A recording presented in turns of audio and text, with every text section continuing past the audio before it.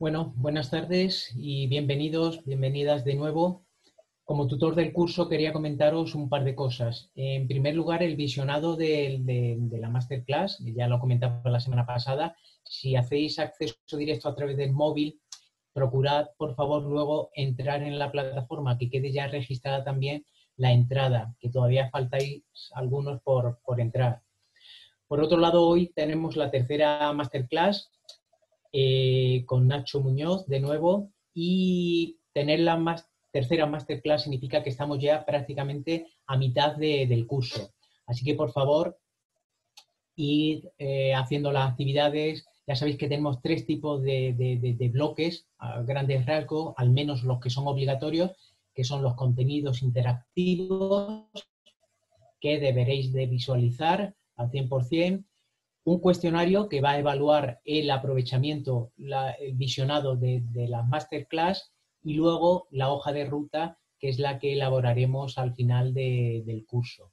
Luego, además, hay muchos contenidos más, pero por favor, irlos haciendo ya, que aunque el fundamento de las clases online son lógicamente que cada uno se las pueda adaptar a, a, su tiempo y a su manera de trabajar, pero que no se os acumule tampoco para el final. Hay un cronograma seguidlo en la medida de lo posible y nada, sigo a vuestra disposición a través de, la plataforma. Gracias. Muy bien, pues muchas gracias Manuel. Buenas tardes. Vamos a comenzar esta tercera masterclass del curso, segunda en mi caso, consecutiva, estuvimos la semana pasada. Y bueno, estoy viendo antes de comenzar ¿no? a compartir pantalla y demás que estoy mirando un poco el listado de participantes Veo que hay algunas personas que estuvisteis el otro día, otras personas que no. Eh, me gustaría que, mm, bueno, antes de, comenzar, pues me presento para que quien no estuviese el otro día, pues pueda saber quién tiene delante en pantalla. Mi nombre es Nacho Muñoz y, bueno, pues pertenezco, soy socio fundador de una empresa de consultoría de innovación que está en Málaga y se llama Innovación Colectiva. Eh, bueno, esta empresa mm, nos dedicamos, con esta empresa nos dedicamos desde el año 2014. Mm, empezamos a trabajar un poco antes, pero desde nuestro paso por notaría en 2014, pues nos dedicamos a la transformación social y también a la transformación empresarial. Es decir, nos dedicamos a hacer consultoría de innovación social e innovación eh, organizativa. Lo hacemos fundamentalmente a través de procesos de facilitación, facilitación y cambio y lo hacemos pues con metodologías que suelen ser participativas, metodologías que suelen implementar la colaboración como estrategia para provocar esos cambios y esas mejoras que siempre necesitamos, tanto en las organizaciones como en los territorios. Nosotros, pues, por poneros un poco de contexto, pues bueno, cuando llegó marzo y vino la pandemia, pues, pues también como todos tuvimos nuestros problemas. Nosotros estamos siempre, estábamos siempre acostumbrados pues a, a generar estos procesos de cambio y de y de facilitación pues, en, entornos presenciales. Eh, entonces, bueno, pues eh, la pandemia que ha provocado, pues ha provocado, pues como muchos de vosotros, muchas de vosotras, pues que tengamos que reinventarnos o resituarnos en esa realidad de manera que, bueno, pues ahora nos apoyamos decididamente en herramientas digitales, en herramientas online a través de las cuales estamos logrando llevar a cabo esos mismos procesos de consultoría que llevábamos a cabo con clientes pues, a través de participación y a través de colaboración. Lo hacemos con herramientas digitales y si hay que mirar cosas positivas que ha traído eh, este raro mundo en el que estamos todos, es que eh, tenemos mucha capacidad de resiliencia y tenemos capacidad para adaptarnos a situaciones adversas e incómodas. En nuestro caso, hemos articulado un abanico de herramientas en donde nos estamos apoyando y si cabe, hay ciertas cuestiones que pues, estamos haciendo hasta mejor, pero me lo digo yo a mí mismo, no, no porque me lo diga nadie, sino porque yo siento que, que, estamos aportando todavía más valor, ¿no? Haciendo las cosas con eh, la camisa por encima y el pantalón de pijama por abajo. Eh, como muchos estamos en estos escenarios, ¿no? Yo no, ¿eh? estoy con pantalón vaquero. Bueno, pues esta es la presentación.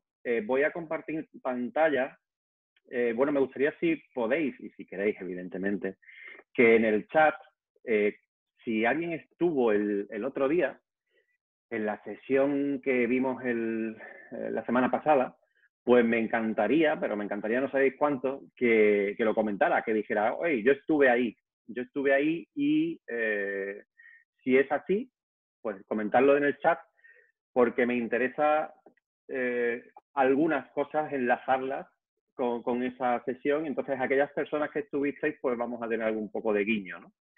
Eh, bien, ya estoy viendo ahí por Ascensión o Blanca que Shadia, o bueno, que bien, cuatro personas hasta el momento que decís que sí, que también estuvisteis, cinco con Cristóbal Palomo, muy bien, pues qué bien. Me alegro, pues como ya os dije en aquella sesión, a vosotros, vosotras que, estuvisteis y a todas las personas que no pudisteis estar, pero que os incorporáis hoy, eh, a mí no me gusta, igual que a vosotros, estar dos horas delante de una pantalla hablando solo. Entonces, es inevitable porque estamos en un webinar, en una masterclass y no queda más remedio que eh, soportar yo el peso de la comunicación, evidentemente, en un entorno como esto. ¿Qué tal, Oscar? ¿Cómo estás? Pues, ¿qué es lo que quiero decir? Que en la medida de lo posible, si somos capaces de interactuar a través de este, esta herramienta de chat que tenemos, mucho mejor. Dudas, preguntas, es decir, esto me pasó a mí, eh, esto no lo veo yo, esto a mí me cuesta trabajo, este truco lo hago yo y me sale bien, os lo agradezco, ¿vale? Os lo agradezco.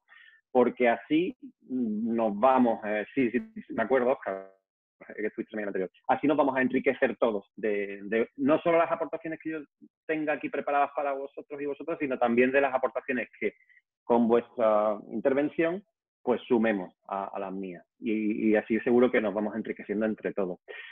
Eh, de hecho, prácticamente al comienzo de las diapositivas, pues lo que vamos a hacer va a ser eh, interactuar, ya os digo, ¿no? voy a comenzar con, bueno, pues disculpad un momentito que tengo que hacer una cosa primero.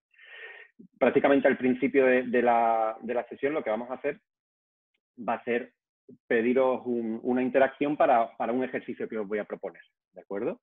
Así que bueno, eh, es verdad que luego Mm, continuaré yo en una parte más sesuda en la que os pediré también esa, esa experiencia si la habéis tenido o no. Eh, pero sobre todo al principio voy a pedir mucho de vuestra parte, mucho de familia, ya sabéis. Bien, bueno, pues el ratito que vamos a tener por delante, que son casi dos horas, no llega, pues vamos a tratar de compartir pues eh, algo de lo que dice este título, ¿no? Eh, trucos para mejorar la comunicación digital. Y me gustaría, primera cosa que os pido, que en el chat, si podéis, compartáis qué expectativas tenéis de esta masterclass. Es decir, qué esperáis que llevaros después de dos horas aquí eh, en este webinar. Eh, algo, ¿qué, esperáis llevaros? ¿Qué, ¿Qué os esperáis encontrar en un webinar que tiene como título Trucos para mejorar la comunicación digital?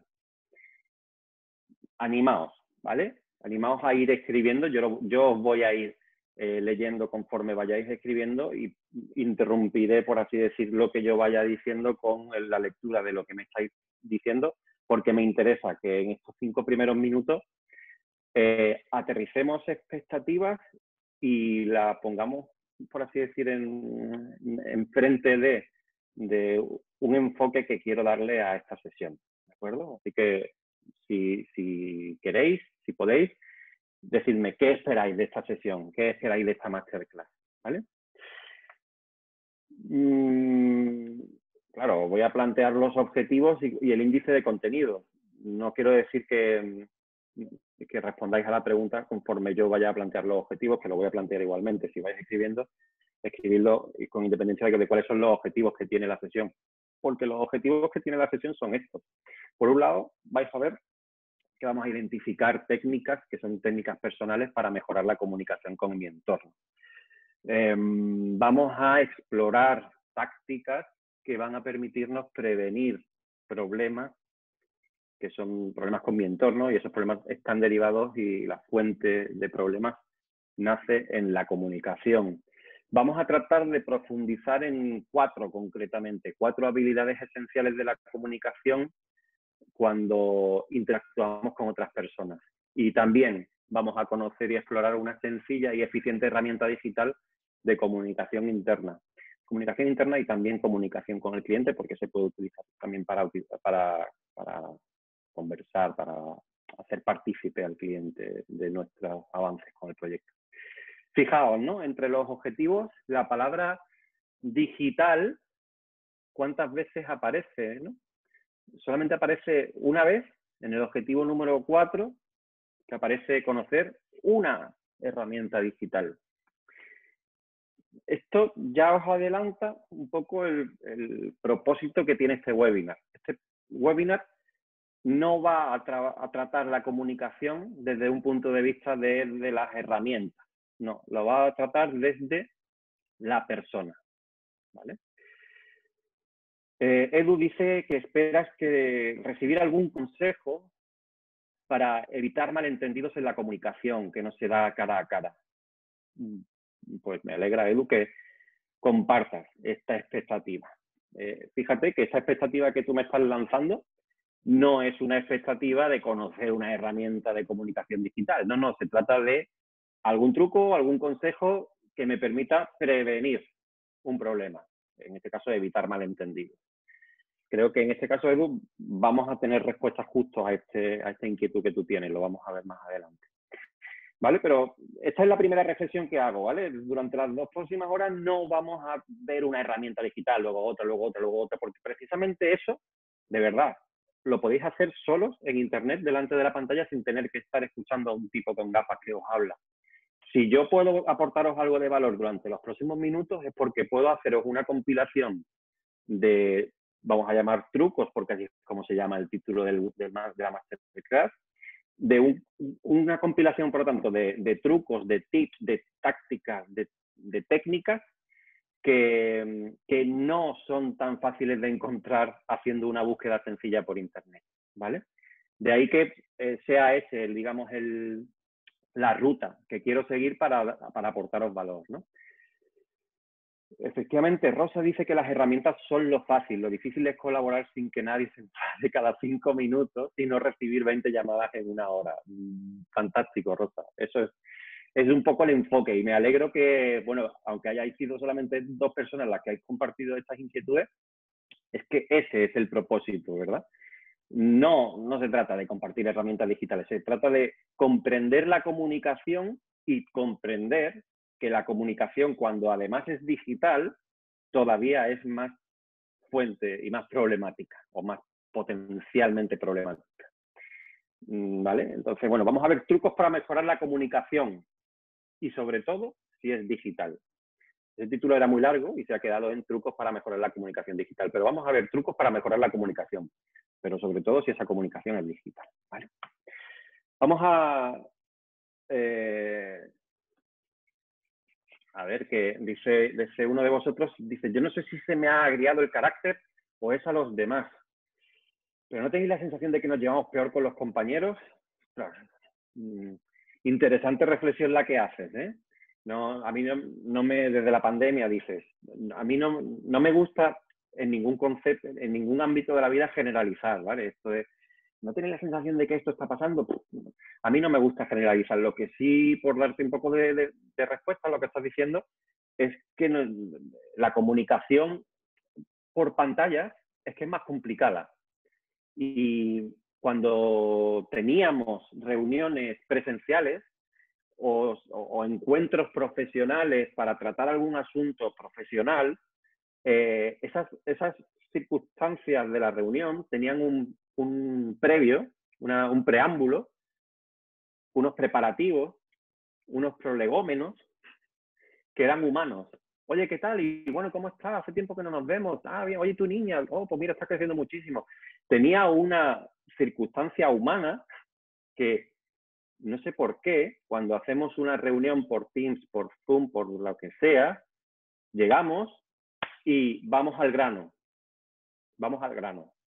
Y esto desde el punto de vista de la productividad del contenido de la reunión, parece que es más positivo, ¿verdad? Porque como dice Amalia, las reuniones son más cortas y eso se agradece. Pero es que hemos quitado toda esa vaselina, disculpadme la metáfora, hemos quitado toda esa vaselina que realmente es, el, pegamento humano que hace que, que, bueno, que no todo sea trabajo, que no todo sea ir al grano, que las relaciones que tenemos sabemos que son interesadas profesionalmente. Si no tuviésemos un interés profesional en común, seguramente aquí no estaríamos hablando, pero eh, creo que es necesario que además de tener relaciones interesadas nos acerquemos a la persona que hay delante, ¿verdad? Bien, bueno, dice, tengo mucho que aprender sobre comunicación digital porque llevo poco tiempo formándome para digitalizar mi empresa. Pues aquí tenéis el índice de contenido. No vais a ver herramientas digitales y tampoco, también os lo adelanto, no vamos a ver estrategias empresariales de comunicación. Por eso me interesaba empezar por aquí. Vamos a explorar la comunicación humana y sobre todo si esa comunicación se establece por cauces digitales. Y con esa exploración de la comunicación vamos a tratar de mirarnos un poco a nosotros mismos, cómo nos mm, desenvolvemos con, nuestro entorno y desde ahí pues poder meter en nuestra mochila pues algún aprendizaje que nos pueda resultar de utilidad en nuestro día a día. Lo vamos a hacer con estos, estos nueve puntos que como vais a ver vamos a empezar con una pequeña actividad que os voy a hacer algunas preguntas. Vamos a empezar con técnicas, ¿vale? Fíjate que me preguntabais casi al principio, Edu, creo que era que oye, alguna, algo para evitar malentendidos, pues vamos a ver una técnica para evitar malentendidos, vamos a ver qué fórmulas podemos, qué tenemos que tener en cuenta para recibir críticas, puesto cómo recibir sugerencias, cómo recibir críticas, ¿vale? Cómo dar y recibir feedback, cómo decirle a la gente, oye, no vas por el buen camino, o cómo recibir el feedback, ¿no? Como mm, me están diciendo que no voy por el buen camino, en el buen camino. ¿Cómo respondo yo a esto, no? ¿Qué acciones internas están a mi disposición para mejorar la predisposición ante los demás y, no estar tan agrio, ¿no? Como decía el compañero. Vamos a ver cuatro habilidades básicas, basic, basiquísimas, basiquísimas, pero que de tanto repetirlas por todos sitios, ya hemos perdido incluso el sentido que tienen y que vamos a verlas pues, para qué, pues para no desvirtuar la comunicación, sobre todo, sobre todo si esa comunicación se produce por causas digitales. También vamos a ver tipos de transacciones, esto va a ser una cosa muy cortita, pero creo que es muy significativa de cómo son las comunicaciones entre iguales y cómo a veces por culpa de no saber identificar quién y cómo me está hablando, el modo de responder hace que se puedan abrir, grietas entre nosotros. Vamos a, ver eh, los equipos de trabajo, vamos a hacer un repaso de cómo es la, historia desde el nacimiento hasta la muerte de un equipo de trabajo, por qué puntos va pasando, y eso lo vamos a ver y creo que es interesante que aquellos que estéis en equipos de trabajo o que vayáis en equipos de trabajo, os podáis sentir reflejados. Y algunos hayáis hablado, ¿no?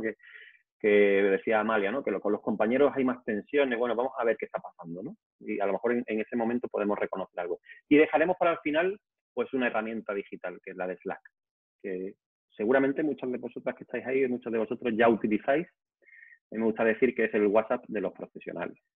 Eh, y ya os adelanto que trataría de evitar WhatsApp para asuntos profesionales. Por lo tanto, busquemos herramientas alternativas como esta que os voy a proponer, que es Slack, que por así decir es, el WhatsApp de los profesionales. ¿vale? Bien, bueno, pues este es el menú que tenemos por delante y, voy a comenzar con una pequeña actividad como os decía, ¿vale? Antes de empezar con esta actividad, os planteo, y además he buscado la diapositiva, digamos, la imagen más cutre de Internet para mostraros algo que, nos, que nos están enseñando desde la EGB. Bueno, yo soy de la EGB, eh, igual alguno de vosotros no es de la EGB, pero esto nos lo han repetido desde chiquitito, pero desde chiquitito. ¿Cómo es la comunicación? Bueno, pues alguien que es un emisor tiene una idea, esa idea la codifica, la convierte en un código que traslada a través de un canal, un receptor, eh, pues, evidentemente la, recibe a través de un estímulo y ese estímulo es decodificado para transformar ese estímulo en un eh, concepto que a veces se parece o se parece más o se parece menos a lo que nos han querido decir. Bien, esto es el proceso de comunicación que nos los han repetido por activa y por pasiva, nos lo han puesto con diapositivas muchísimo más bonitas que la que tenéis delante. Eh, es la base de todos los problemas que luego tenemos. Y es que el mensaje desde que sale desde la idea inicial que codificamos como emisores hasta que llega al receptor y se conforma un, entendimiento de lo que ha recibido, hay momentos en el que ese concepto se desvirtúa. Y eso es parte de lo que vamos a ver a lo largo de la tarde de hoy. Eh, ¿Qué ocurre? Que fijaos que aquí hay un, en esta diapositiva abajo pone canal. Cuando el canal es, digital, la, posibilidad de que se desvirtúe la comunicación todavía puede crecer más en tanto que la habilidad para emitir un mensaje a través del canal digital a veces la tenemos menos desarrollada.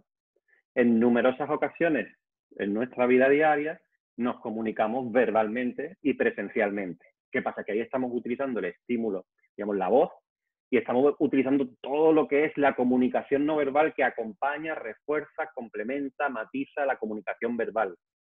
Y enriquece el mensaje y hace que el entendimiento que el receptor tiene de lo que yo digo sea más fidedigno a, que si lo hiciera de otra manera. Si lo hago a través del canal digital, lo estoy haciendo por una comunicación escrita en muchas ocasiones, lo estoy haciendo a través de una pantalla donde no tenemos muchas habilidades para comunicarnos con, con, algo que no es, no es humano, es una pantalla, por mucho que estéis ahí detrás, ¿verdad?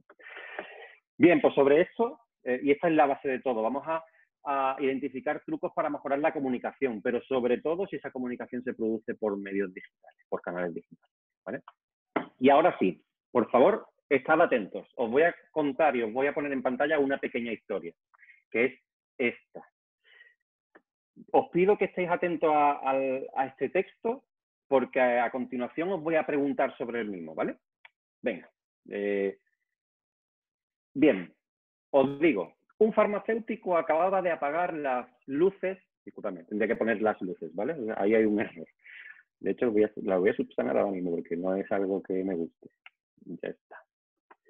Un farmacéutico acababa de apagar las luces de la farmacia cuando apareció un hombre y pidió dinero. El propietario abrió la caja registradora. Una vez consiguió el dinero y lo colocó apresuradamente en uno de sus bolsillos, el joven desapareció. Bien, con esta historia, ¿qué vamos a hacer? Pido que la, que la la tengáis ahí, que la, penséis, ¿vale? Que, la, no, que no la copiéis, simplemente escucharla, leerla, escucharla, leerla. Y os voy a hacer unas preguntas, ¿vale? Y me vais a responder, si es posible, en el chat a las preguntas que os voy a hacer. La pregunta simplemente la respuesta es sí o no, ¿vale? Bien, voy a leerla una vez más. Un farmacéutico acababa de apagar las luces de la farmacia cuando apareció un hombre y pidió dinero. El propietario abrió la caja registradora. Una vez consiguió el dinero y lo colocó apresuradamente en uno de sus bolsillos, el joven desapareció. Vale. Venga, vamos a hacer, os voy a hacer esta pregunta. El, el hombre apareció después de que el propietario apagara las luces. ¿Verdadero o falso? Por fin, responderme en el chat. ¿Verdadero o falso?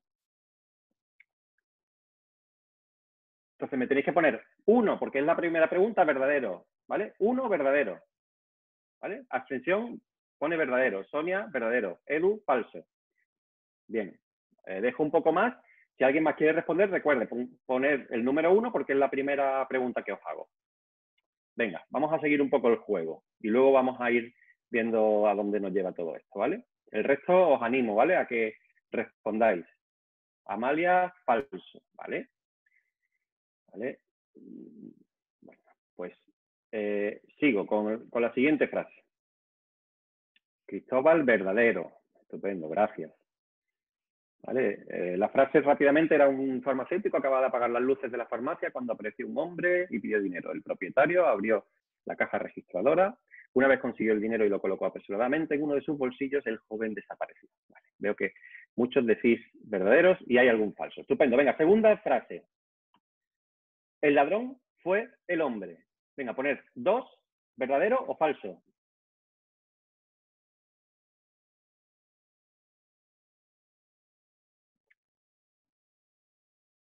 Vale, vale. Verdadero, verdadero, verdadero. Venga, el, el ladrón fue el hombre. Falso.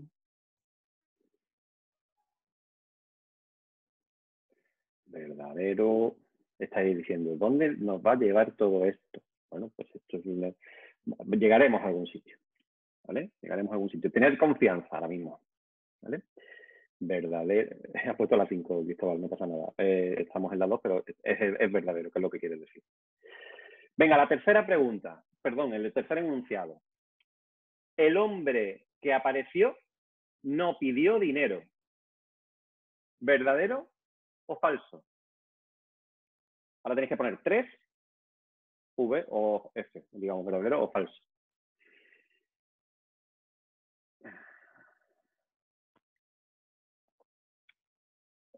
El hombre que apareció no pidió dinero.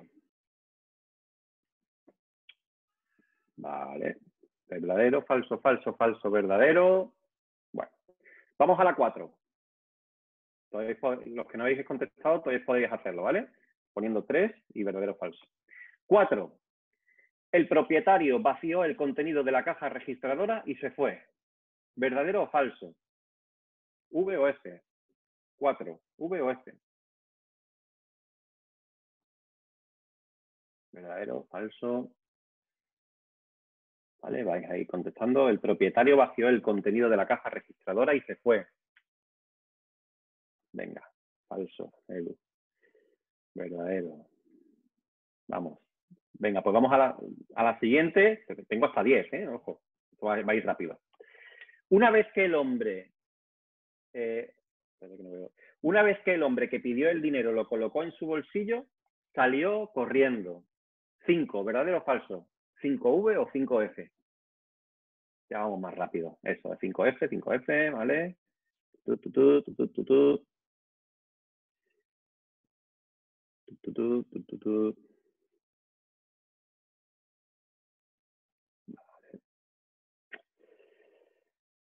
Seis. Aunque la caja registradora contenía dinero, la historieta no dice cuánto. ¿Verdadero o falso?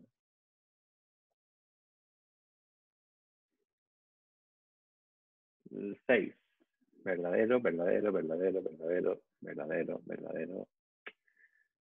Venga, pues seguimos. Quien no lo haya puesto, que lo ponga. Vamos a las 7. El ladrón pidió el dinero al propietario.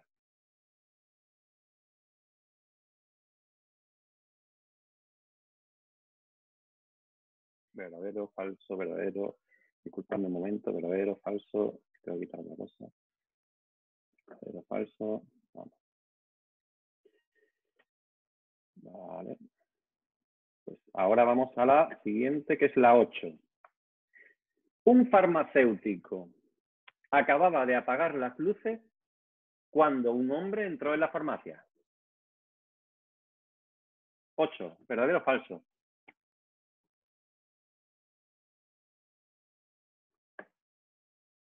Me encanta ya la agilidad de respuesta que estáis teniendo. Perfecto, eso es lo que me encanta y que os estaba pidiendo, ¿vale? Vamos a la 9.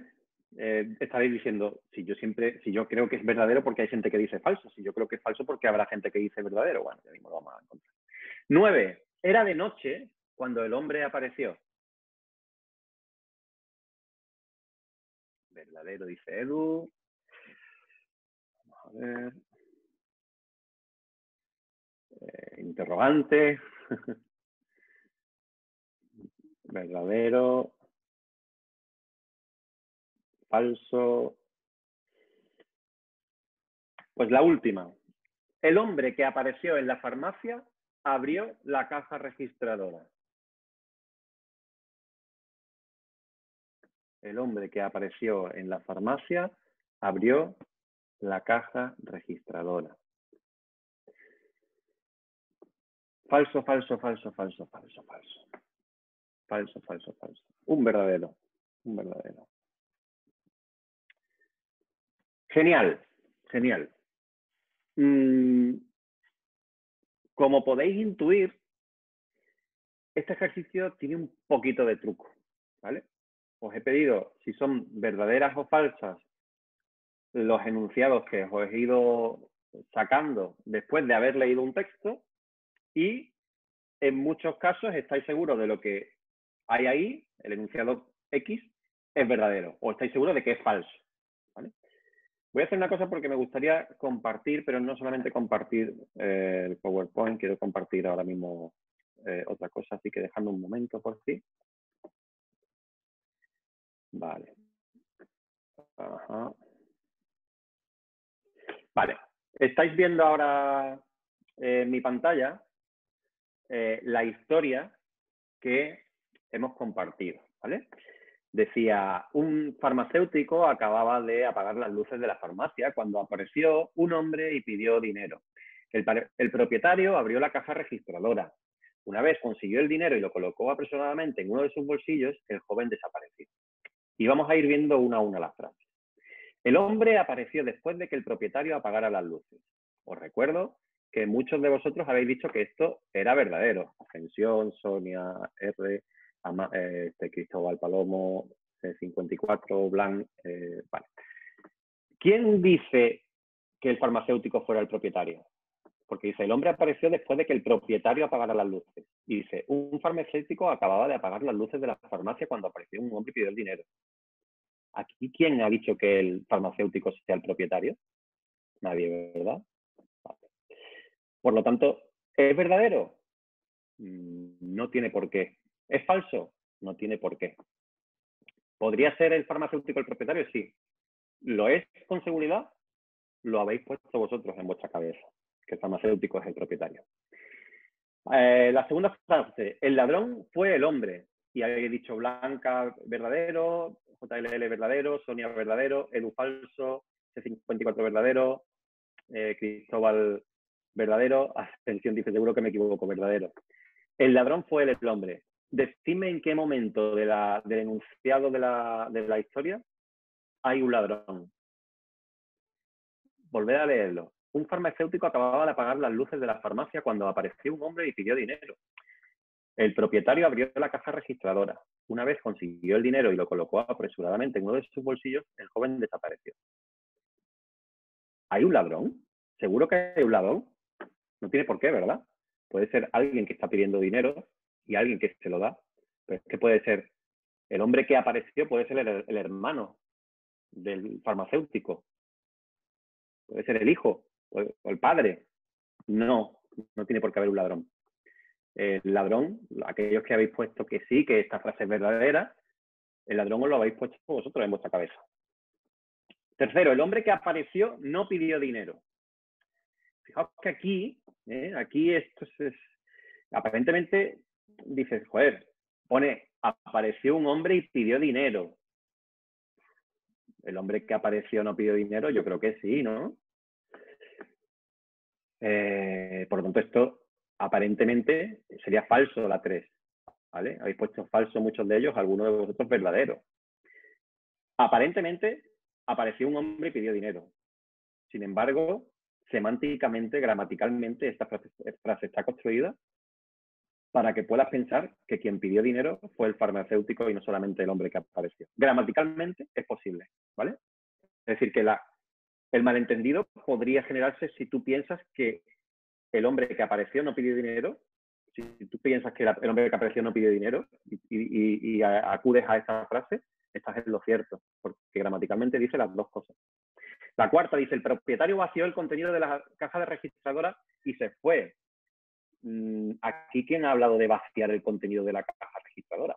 Aquí se ha abierto la caja registradora. No sabemos si se ha cogido dinero o no de esa caja registradora. A lo mejor se ha abierto la caja registradora, se ha descubierto que no había dinero y el propietario lo que hizo fue darle el dinero de su bolsillo, pero no aparece nada que ponga que la caja registradora se vaciara. Sin embargo, muchos de vosotros lo habéis puesto, algunos de vosotros habéis puesto que era verdadero. Cinco, una vez que el hombre que pidió el dinero lo colocó en su bolsillo, salió corriendo. Aquí dos, tres, tres personas habéis puesto que es verdadero. Aquí dice que lo colocó apresuradamente en uno de, sus bolsillos, pero no sabemos si salió corriendo o no. Esa imagen en la que el hombre sale corriendo la habéis puesto en vuestra cabeza, no, no, no dice nada del texto. Aunque la caja registradora contenía dinero, la historieta no dice cuánto. Esta es la seis. Todos decís verdadero todos decís verdadero, todos. la 6 todos habéis puesto verdadero.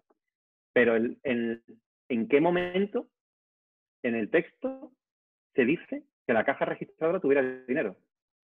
Lo habéis puesto en vuestra cabeza. El, propietario abrió la caja registradora y luego a continuación pone, una vez consiguió el dinero y lo colocó apresuradamente, pero el enlace de pensar que, pues, que había dinero y por lo tanto ese dinero que hay en la siguiente frase salió de la caja registradora, lo hemos puesto nosotros. En la frase no lo pone.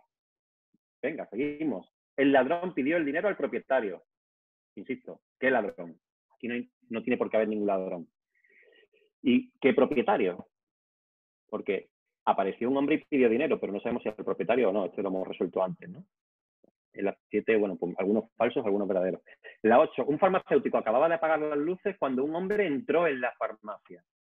Aquí todos habéis prácticamente dicho verdadero, menos un falso. Sin embargo, eh, exactamente el hombre que apareció, apareció. No sabemos si entró en la farmacia o apareció de dentro de la farmacia. A lo mejor entró por un, por, un, por una puerta interna o estaba ya dentro y apareció en esa escena. ¿Vale? Era de noche cuando el hombre apareció.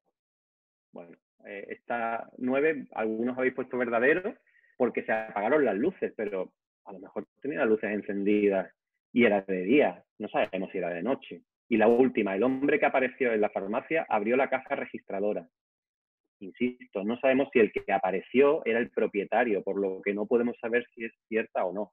El hombre que apareció no sabemos si es... Eh, el, hombre que apareció en la farmacia abrió la caja registradora. El que la abrió fue el propietario. Lo ponen aquí. No sabemos el hombre si la abrió o no. Bien. Em, ¿Qué nos dice? Nos va a explotar la cabeza, dice Edu. Aquí, aquí paro. ¿Qué nos dice esta historia? ¿Podéis sacar algún tipo eh, de conclusión, de ¿podemos extraer alguna metáfora, algún aprendizaje de este ejercicio? Eh, que no sea explotarnos la cabeza, eh, por Dios, que no quiero que haya daño. Eh, dices que esto es lo que nos pasa a veces con los mails. ¿Cuántas veces leemos en diagonal? Esto que está muy de moda, ¿no? yo te he leído en diagonal y no me he enterado bien. así, ¿verdad? De veces eh, como dices Edu, rellenamos las historias con lo que nos viene en gana, con lo que en ese momento en nuestra cabeza mm, le viene mejor, hay una conexión asociativa que hace que la historia la terminemos de completar nosotros. La comunicación digital. ¿Por qué decimos que la comunicación por escrito da lugar a malentendido? ¿Algunos en algún momento de los 10 ítems ha pensado la respuesta correcta? Y la respuesta correcta es es que no lo sé, porque la historia no venía explícitamente que esto fuera así o de la otra manera. ¿Vale? Tenemos que reflexionar muy bien sobre la experiencia que hemos tenido en este ejercicio porque esto que nos ha ocurrido aquí en este entorno libre de riesgos, que es un webinar de comunicación, es lo que nos pasa ahí fuera. Lo que nos pasa ahí fuera es que eh, completamos el relato del mensaje que estamos recibiendo. ¿vale? Dices que podría ver quiénes de vosotros sois positivos y cuáles sois pesimistas. no, no creo, no creo que tenga ese poder esta historia. No, no, no creo que vayamos por ahí. Pero lo que sí creo es que, em, bueno, lo que comentabais vosotros, ¿no? Que rellenamos las historias con lo que nos parece y que si los textos escritos no están muy bien explicados, si somos el emisor de ese texto, tenemos que asegurarnos que lo que estamos enviando se recibe adecuadamente. Y si somos el receptor de un texto confuso, tenemos que asegurarnos con el emisor que nos vuelva a entregar la comunicación para yo entender lo que él ha querido explicarnos. ¿Vale? Porque en esta diapositiva tan tonta que os he puesto al principio, se resuelve todo lo que vamos a ver adelante. El mensaje que decodifica el receptor no siempre es igual al que ha codificado el emisor para lanzarlo. No siempre es igual. Se pierde información por el camino que completamos nosotros. ¿De acuerdo? ¿Alguna conclusión más del ejercicio que queráis hacer? ¿Alguna reflexión que os induzca este ejercicio? Estáis a tiempo de hacerlo, ¿vale? Bueno. Eh, voy, a, hacer otro, ejercicio aquí de compartir rápido para compartir solamente lo que me interesa. Bien. Dice Cristóbal que tenemos que leer muy bien, pero no a ver, para no a ver, yo también estoy leyendo bien. Tenemos que leer muy bien para que no haya malentendidos. Preguntar lo que no entendemos bien, efectivamente. Ese es, el, misterio que tenemos que resolver aquí. Bueno, me voy a poner esto aquí arriba. Vale. Y continuamos. Técnica, recap para evitar malentendidos. Y estas son técnicas sencillitas. Y casi que me vais a permitir ir pasando casi rápidamente y me paráis cuando digáis, hey, esto para aquí porque ¿cómo lo puedo hacer? La, la duda que tengáis, ¿vale? Recap. Vamos a atender a la inicial de recap. Y vais a ver que son cinco pasos. Resumir, esclarecer, concretar, acordar y proceder. Vamos a la primera, ¿vale? Son cinco pasos. La primera, resumir. Si yo emito un mensaje que es complejo y que sé que estoy emitiendo un mensaje que es complejo y que puede dar lugar a malentendidos, lo que tenemos que procurar es pedirle al interlocutor que nos haga un resumen. Tenemos que asegurarnos que el mensaje ha llegado al interlocutor como yo quiero que le llegue. Ejemplo eh, verbal. Ahora te agradecería que me hicieras un resumen sobre lo que hemos comentado para asegurarnos ambos de que nos hemos entendido adecuadamente. Ojo, fijaos la forma de expresar esto. No es lo mismo decir lo que acabo de decir en el, en el texto que tenéis delante y que podéis leer. No es lo mismo decir eso que decir, a ver si te has enterado tú de lo que te he dicho. Porque no es lo mismo. O sea, el a ver si te has enterado no es lo mismo que vamos a asegurarnos ambos de que nos hemos entendido adecuadamente. Y el a ver si te has enterado contempla un montón de matices eh, imperceptibles que contienen violencia verbal, ¿vale?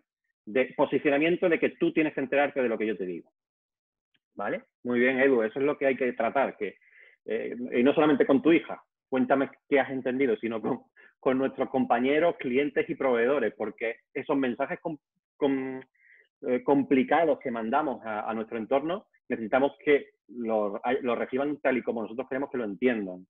Cuando digo con violencia verbal, es una forma de expresarme quizá inadecuada, pero lo que quiero decir es que si yo digo, a ver si te has enterado, porque yo estoy en, un rango jerárquico en el que tú tienes que obedecerme y, enterarte. No es lo mismo, o sea, creo que nos entendemos, que no es lo mismo decir, dime si te has enterado, a decir, vamos a asegurarnos ambos de que nos hemos entendido adecuadamente. Porque el, segundo prisma es en prisma colaborativo. El, primer prisma es un prisma, eh, digamos, impositivo. Si yo soy el receptor, genial, Edu, y gracias, porque estas preguntas son las que yo quiero que me hagáis. Eh, si yo soy el receptor de un mensaje complejo, ese mensaje lo puedo recibir verbalmente, pero también digitalmente, ¿cuál es el enfoque? Vale, pues lo mismo, pero al revés decir, oye, ahora si te parece voy a hacerte un pequeño resumen de lo que hemos comentado para asegurarnos ambos de que nos hemos entendido adecuadamente, ¿vale? Es que cuando somos receptores en muchas ocasiones nos conformamos con lo que nos dicen y no, no, no, no, no, hay que reivindicar la complejidad del mensaje para que te quede claro aunque, aunque parezcamos tontos, digamos. Por favor, repítemelo. O por favor, yo te voy a hacer un resumen a ver si lo he, lo he captado bien. Sobre todo, insisto, en los mensajes que tienen cierto matiz complejo, que hay mucha información, etc. ¿vale? Primero, resumir de la técnica recap. Segundo, esclarecer. Desde el punto de vista del emisor del mensaje, em, eh, esclarecer significa, eh, digamos, concentrarse en aquellos puntos digamos que, son más importantes del mensaje. Por ejemplo, es importante que no olvidemos que el trabajo ha de estar presentado el lunes antes de las 10. Os he contado un montón de cosas, pero ahora quiero que sepáis que este punto es fundamental, ¿vale? O imaginad que cuando has contado todo desde el emisor, ¿vale? Aquí, habéis recibido del receptor un resumen, ¿vale? Y le dices, exactamente no es eso lo que quiero decir, sino más bien, si lo vuelves a repetir, esclarecer para que no haya dudas, ¿vale? Si soy el receptor, pues una vez que le he contado el resumen desde el punto de vista receptor, preguntar, ¿hay algo que no he tenido en cuenta? ¿Es esto eh, lo que hemos quedado? ¿Hay algo más que se me esté pasando? Esclarecer, ¿vale? Aquí esclarecer. Y luego concretar. La concreción es el, el mismo contenido que el resumen, pero más, más pequeño. Es decir, este es el resumen, toda la información. El esclarecimiento se ha centrado en puntos concretos que yo considero importantes. La concreción es un resumen más sintético de la información que quiero, que quiero comentarte, en donde evidentemente están esos puntos más importantes, ¿vale? Punto. Eh, es sintetizar los hitos que quiero mm, compartir y poner en valor aquellos criterios que son más importantes. Por último, si durante el diálogo previo ha habido discrepancias, ha habido momentos en los que la otra persona no me ha entendido correctamente, si ha habido puntos de, no unión, de, que no ha entendido lo que yo estoy mm, enviando, aquí es donde tengo que recalcarlo de nuevo y, llegar a acuerdos. Entonces, nos ha quedado entonces ambos, ambos claro que la fecha límite es el, lunes a las 10 de la mañana, porque antes no se había enterado, antes me había dicho que, entonces esto para la semana que viene, no, no, es la semana que viene, es el lunes a las 10 de la mañana. Ahora aquí es cuando tenemos que acordarlo y que me lo vuelvas a decir, es el lunes a las 10 de la mañana, ¿verdad? Bien, seguimos adelante, para que no haya malas interpretaciones. Y por último, digamos, la, P del recap sería proceder, poner en marcha, eh, la puesta en marcha del proceso de comunicación. Una vez que está, eh, lo que has comunicado es un proceso que se pone en marcha, sería establecer hitos evaluativos para comprender, para conocer si el proceso, el mensaje que se ha trasladado se está cumpliendo y se está llevando a cabo en la práctica o no. ¿De acuerdo? Recap. Resumir, esclarecer, concretar, acordar y proceder. No hay mucho más. Eh, os dejo aquí estas diapositivas con estos tips a partir de aquí podéis buscar en Internet porque hay mucho más. ¿De acuerdo? Bien, ¿cómo recibir sugerencias y críticas eh, en contextos de comunicación, evidentemente? Cuando hablo de recibir sugerencias y críticas, me estoy refiriendo a recibir críticas, básicamente. Recibir críticas, porque cuando recibimos una crítica nos ponemos un poco a la defensiva. Y si estamos en momentos profesionales, en entornos profesionales, algo muy importante que tenemos que tener en cuenta es que la comunicación es una herramienta profesional. Y si yo mal utilizo la comunicación en un momento en el que estoy recibiendo la, crítica o una sugerencia de mejora, puedo estar rompiendo una relación con un cliente, con un compañero de trabajo, en mi equipo, con un proveedor. Entonces, ¿recibimos una sugerencia de mejora o una crítica? Primero, no saltar, que lo vamos a ver ahora, paciencia, ¿vale? Hay que transmitir cordialidad, confianza, interés, interés por saber más acerca de lo que te están diciendo, amabilidad, es decir, todo lo contrario a lo que intuitivamente podemos pensar de una persona que recibe una crítica. Una persona cuando podemos pensar que una persona va a recibir una crítica, ¿qué es lo que hace? Dispara, ¿no? Se, dispara. ¿Qué? Se pone a la defensiva. El objetivo aquí es todo lo contrario. Es agradecer que te estén dando una sugerencia agradecer que esa persona tenga la inquietud, el, interés, incluso el, tiempo de mostrarte algo que tú puedes mejorar. Y el, empezar así con esa paciencia, esa cordialidad, genera una comunicación constructiva a partir de ese momento. Paciencia. Exploración, junto con, si, hemos empezado así, exploramos qué es lo que está pasando, ¿vale? Eh, eh, Edu dice, cuando me hacen una sugerencia por mail suelo contestar gracias por ayudarme a mejorar. Pero me han dicho que suena un poco pedante o algo. A mí no me suena pedante, Edu, sinceramente. yo creo que... Eh, yo creo que dar las gracias para mí no es nunca, nunca, nunca un, un síntoma de, pedantería o, algo parecido. Eh, yo creo que todo lo contrario. Si alguien Mira, hay, un libro que, es un bestseller y además súper antiguo, que, se llama Una queja es un regalo. Eh, una queja es un regalo, ¿por qué? Porque si alguien se está quejando, si alguien cree que algo está funcionando mal, a mí me está, me está ayudando. Porque a lo mejor es un problema puntual, pero si es un problema, ya es algo que tengo que solucionar. ¿vale? A lo mejor es un malentendido, pero si es un malentendido, entendido es algo que yo ya tengo que mirarme, porque alguien ha malentendido algo. Eh, en, definitiva, a mí no me lo parece. Yo, soy de la opinión que hay que agradecer a todas aquellas personas que nos hacen una sugerencia de mejora.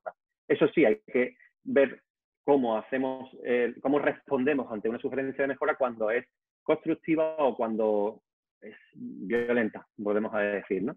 En definitiva, vamos a pensar que están haciendo una sugerencia de mejora. Una vez que hemos eh, iniciado con paciencia, confianza, cordialidad, interés y amabilidad, cuidando todos los elementos del lenguaje, vamos a tratar de explorar junto con el interlocutor qué deberíamos hacer para mejorar. qué recursos serían necesarios, si es necesario eh, emplear otros recursos, qué podría salir mal si lleváramos las cosas de otra manera, cuál sería el plan B a este plan que estamos llevando a cabo y que parece que no está funcionando. Si estamos con nuestro equipo de trabajo y la sugerencia de mejora viene de dentro, de mis compañeros, de gente que trabaja para mí, para mí que no se quede en una sugerencia, pues esto habría que hacerlo de otra manera. No, vamos a hacernos esta pregunta, ¿cómo deberíamos hacerlo? ¿Qué necesitaríamos? ¿Qué podría salir mal? Oye, ¿te parece si me detallas en un documento eh, la nueva forma de actuar a partir de ahora? Porque al final también estamos comprometiendo a la gente en un cambio y en una mejora, ¿no? Que no se quede simplemente la sugerencia, sino involucrarlos también en el proceso completo de, mejora. Eh, en muchas ocasiones, esto lo vamos a ver justo un poquito más adelante, que, vamos a redundar más en esto, en, eh, la conducta versus la sensación. Eh, en muchas ocasiones es que las sugerencias se están recibiendo en mal momento. en mal momento. O sea, a lo mejor entre compañeros podríamos escenificar esto que voy a poner adelante, un colaborador entra al despacho, dice, ¿tienes un momento? Dijo asomando, dije asomándome a su despacho. Dime, contestó secamente mientras miraba concentrado la pantalla de su ordenador. Tengo una idea sobre cómo resolver esto, podríamos hacer esto, bla, bla, bla, bla, bla. El, el otro dice, uff, eso es un jaleo, además no creo que haya suficiente presupuesto, interrumpió al poco sin apartar la mirada del portátil. Ya, pero si lo hacemos de esta o de otra manera, no, no, no, no, no lo veo. Esto no va a funcionar y además no hay pasta. Interrumpió de nuevo. Ok, venga, te dejo que veo que tiene el lío. Si es que tengo ahora comité de dirección y aún no he acabado el informe de esta semana. Gracias y disculpa. En muchas ocasiones recibimos sugerencias de mejoras en momentos en los que somos completamente eh, no receptivos. Y a lo mejor lo que nos están diciendo es arriesgado, es difícil, pero contiene algo de valor. Y por culpa de yo no estar en un momento de, abrirme a escuchar esa sugerencia, la rechazo. ¿Vale? Eh, fijaos la diferencia porque esto empezaba con un tienes un momento, ¿vale? Y cuando, eh, fijaos la segunda línea, tienes un momento y, y, dice, dime, dime, o sea, le acepto que me hable cuando yo no le estoy escuchando. Dime, contestó secamente mientras miraba concentrado la pantalla de su ordenador. Si no puedes hablar, no hables. Fijaos la diferencia. Tienes un momento y dices, hola, ahora estoy terminando de redactar un mail que tengo que enviar enseguida. ¿Podemos tratar el asunto dentro de 10 minutos? Así te voy a poder atender mucho mejor que ahora que estoy concentrado en esto. Podría ser la circunstancia que me dijeran, es que es muy, muy urgente, no podríamos verlo en un minuto. Y tú ahí ya podrías valorar internamente, y lo vamos a ver un poco más adelante, ¿habría alguna consecuencia grave si no lo vemos ahora y esperamos 10 minutos para hablarlo.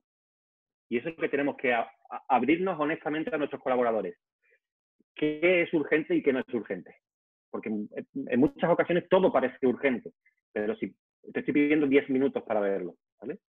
¿Pasa algo grave si eh, pasan 10 minutos? Si me dices que sí pasa algo grave, dejo lo que esté haciendo y nos ponemos a ello. en numerosísimas ocasiones aparecen urgencias que no son tales. Y el, momento es, muy importante, como dice JLL, que es importante es el timing, los momentos, ¿verdad?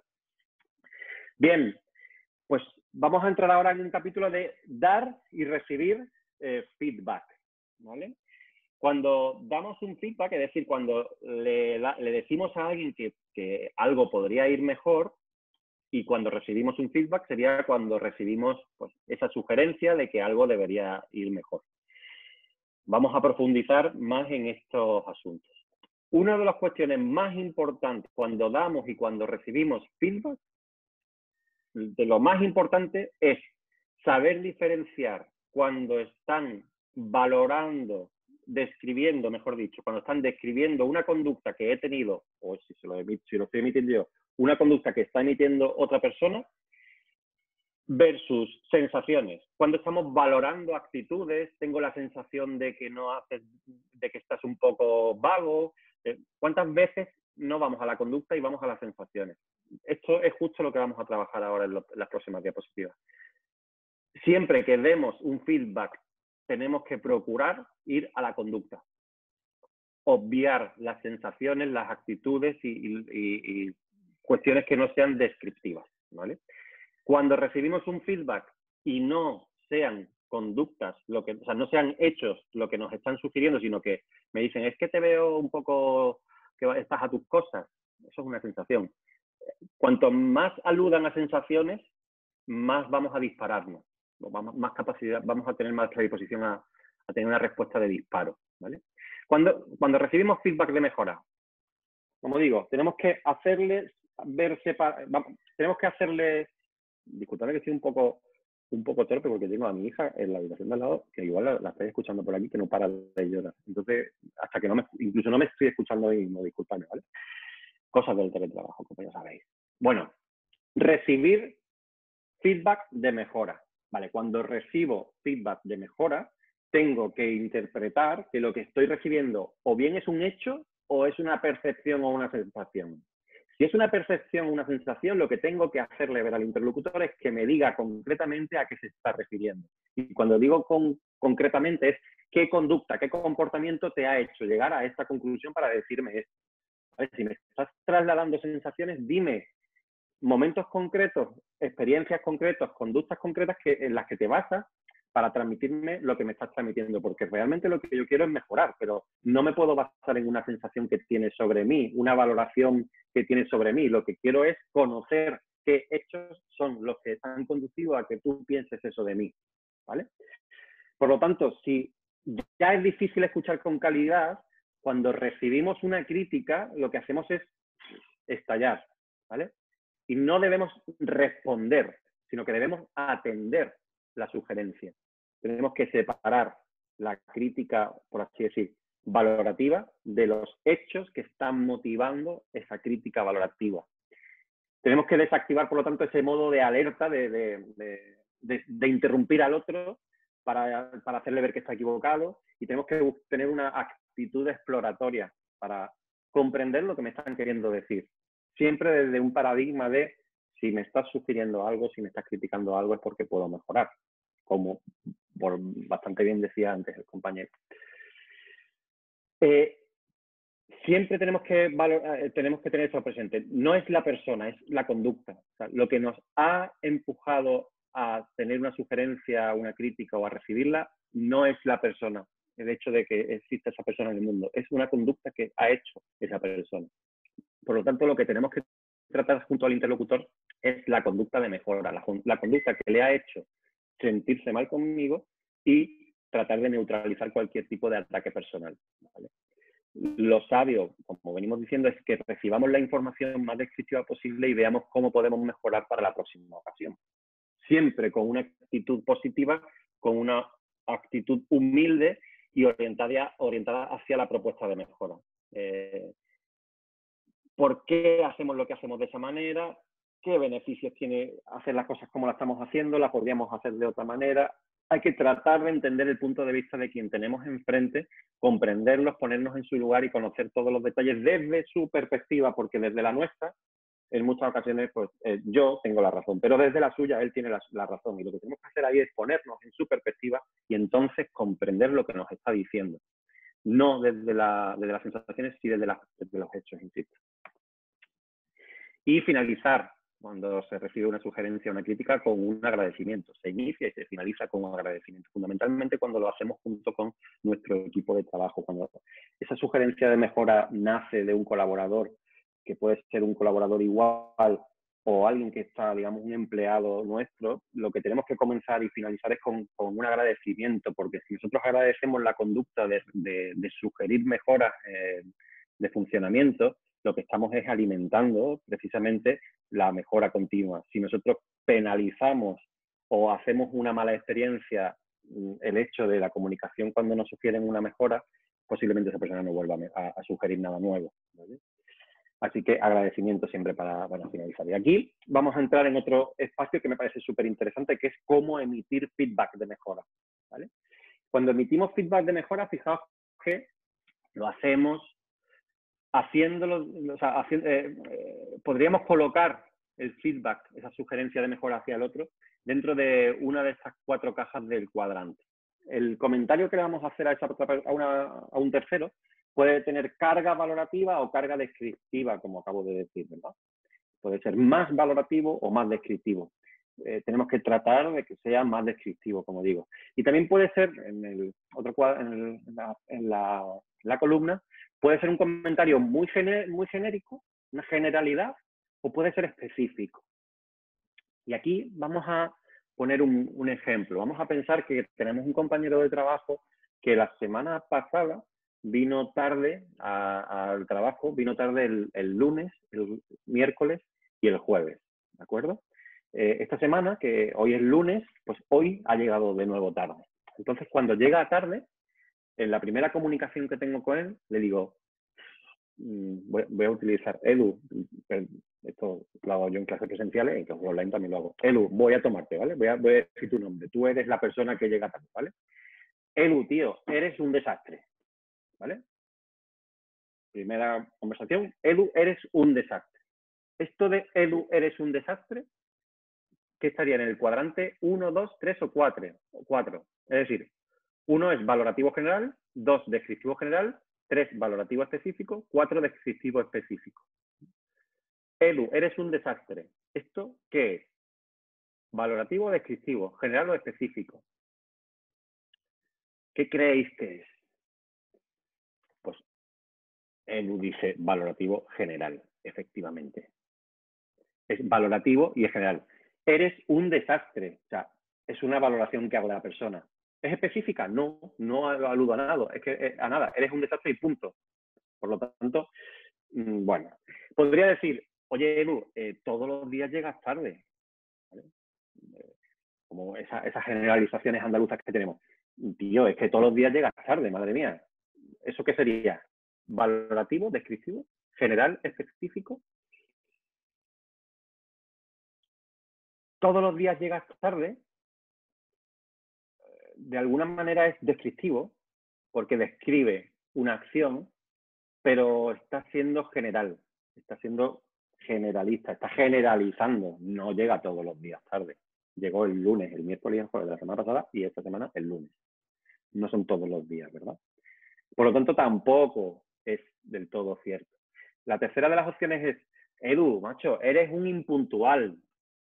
Eres un impuntual es descriptivo para nada, es valorativo, estoy valorando. Y es específico, sí, no es una generalización. Mira, en este caso sí, te estoy dando una eh, valoración específica de tu persona. Si la, la, última, ahí la he resumido, oye, Edu, macho, la semana pasada, el lunes, el miércoles y el jueves te retrasaste. Te retrasaste entre 15 y 20 minutos. Y hoy ya te has retrasado de nuevo 20 minutos.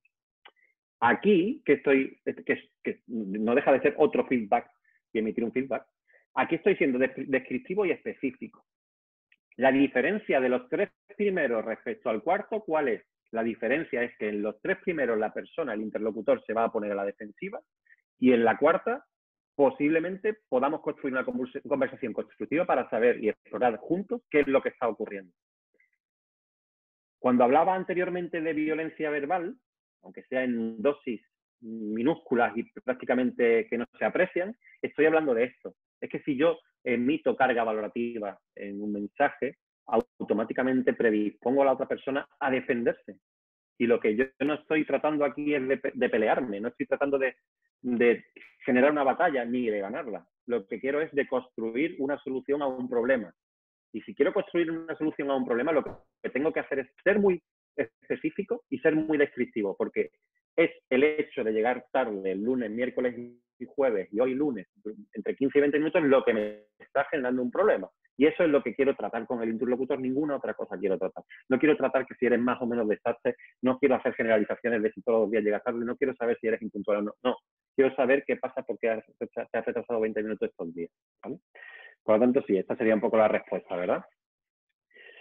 Bien, pues cuando hacemos feedback, cuando emitimos feedback, siempre reflexionemos acerca de cómo lo hacemos, porque en Andalucía somos muy de ir a la tremenda.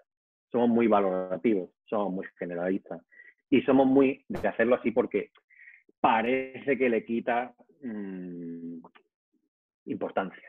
Y en ocasiones no solamente no se la quita, sino que se la añade, ¿vale? Porque en muchas ocasiones la broma, la broma eh, si no está mm, expuesta en un momento y en un tiempo, en un, espacio determinado, la broma se convierte en, la peor de las críticas. Cuando una crítica se traslada a través de una broma, eh, tenemos un problema si no se articula esa broma en el momento adecuado, porque se vuelve más fiera. Hay que buscar el espacio y hay que buscar el momento oportuno para emitir un feedback de mejora. Si yo quiero hacerle una sugerencia a alguien para que mejora, tengo que, tengo que hacerlo en el momento en el que esa sugerencia va a dar lugar a un efecto positivo. Si no, me la tengo que guardar para un mejor momento, nunca dicho. Luego vamos a ver pues, que hay dos, dos técnicas, ¿vale? La técnica del sándwich y la técnica de la transparencia. La, la técnica del sándwich, seguramente si lo ponéis en internet vais a encontrar un montón de información sobre cómo articularla. Aquí en esta diapositiva me ha salido mucho texto porque bueno, también aspiro a que luego si la tenéis para, para vosotros luego en el PDF, pues que, que, tengáis ahí un poco más de info. ¿no? La técnica del sándwich, ¿qué es? Pues una rebanada, un poquito de jamón, un poquito de queso, otra rebanada. Es vamos a ir combinando comentarios positivos con críticas, pues una detrás de otra. ¿vale? La técnica del sándwich es muy positiva y muy difícil de llevar a cabo, ¿vale? Por ejemplo, quiero que sepas que estoy muy satisfecha con los resultados que estás obteniendo, una loncha. Sin embargo, hay algo que puedes mejorar que es el resultado, otra loncha. Me gustaría acordar contigo las bases para corregirlo y estoy segura que puedes conseguirlo. Fijaos cómo, cómo eh, atrapamos la sugerencia, el feedback de mejora, lo atrapamos en comentarios de motivación, de refuerzo, eh, positivos. ¿Por, qué la técnica del sándwich? ¿Por qué, ese mimo en reforzar y en, motivar? Y muchas veces estaréis pensando, es que estamos mal acostumbrados, si algo está mal hay que decirlo. Ya, ahora ponte tú en el lugar de que tu jefe, tu colaborador, tu cliente, te dice nada más que lo malo de lo que haces te, fastidia un poco, ¿no? Te, jode, básicamente. Lo que quieres es también que te digan, oye, que también lo estás haciendo bien, porque tú te estás esforzando y no solamente quieres recibir de ese interlocutor lo que podría mejorar, que sí, que también tenemos que tratarlo, evidentemente, pero quiero también que me diga, si estamos en una interlocución acerca de cómo están yendo las cosas, pues que nos digamos todo. Que me vas a decir lo malo, pero también dime lo bueno, ¿vale? Y luego está la técnica de la transparencia que esta es sin, piezas de pan, ¿no? sin, loncheados. Esta es ir al grano. Lo que pasa es que ir al grano no siempre significa ser duro, ser insensible o tratar únicamente aspectos que mm, puedan herir. Vamos a ver este texto. Me gustaría hablar contigo porque estoy un poco preocupado. La presentación que hiciste esta mañana al equipo puede haber creado cierta confusión sobre nuestra estrategia. Déjame decirte cómo me gustaría abordar esta reunión. Quiero empezar por describir lo que vi que levantó mis preocupaciones y saber si tú has visto las mismas cosas. Una vez que estemos de acuerdo en lo que pasó, quiero hablarte sobre mis inquietudes y ver si las compartes. Entonces podemos decidir qué hacer en el futuro. ¿Qué te parece? La técnica de la transparencia lo que tiene es que va al grano, es decir, tengo un problema con algo que ha pasado. No, no te voy a, decir que últimamente lo hacen muy bien y voy a poner toda la base No, quiero hablar contigo porque hay un problema. Ahora, te contextualizo el problema de una manera tal que vas a comprender que lo que quiero hablar contigo es para que mejoremos los dos. Que no hay ningún ánimo aquí de machacarte, de, evaluarte, de controlarte, de, imponerte. No, que quiero construir contigo una discrepancia. Quiero compartir contigo una discrepancia para construir contigo una solución en la que ambos nos sintamos cómodos. Punto. ¿Vale? La, la transparencia no tiene que ser ser un canalla y decirte eh, todo lo malo. No, significa compartir un problema que se está generando y construir la solución juntos, pero sin ambajes, hablando del problema y hablando de la capacidad mutua que tenemos para solucionarlo. ¿vale? ¿Qué es mejor, el sándwich o la transparencia? Todo depende del contexto, del interlocutor, de, de, quién, de quién tenemos a nuestro alrededor. ¿vale? Eh, la técnica del sándwich puede ser, llegar a ser muy útil, pero también puede volverse contra ti. Si tú estás eh, poniéndole las lonchas de motivación y positividad a alguien, esa persona dice, bueno, ¿y, cuándo llega el pero? Que, me estás poniendo muchas cosas buenas, esto es para decirme algo malo, ¿verdad? Y, si no se hace bien el sándwich, lo bueno no, no, llega. Realmente me has dicho lo bueno para decirme que ahora realmente las cosas van. Al receptor le puede sonar a engaño si no sale de manera espontánea y natural. Bien.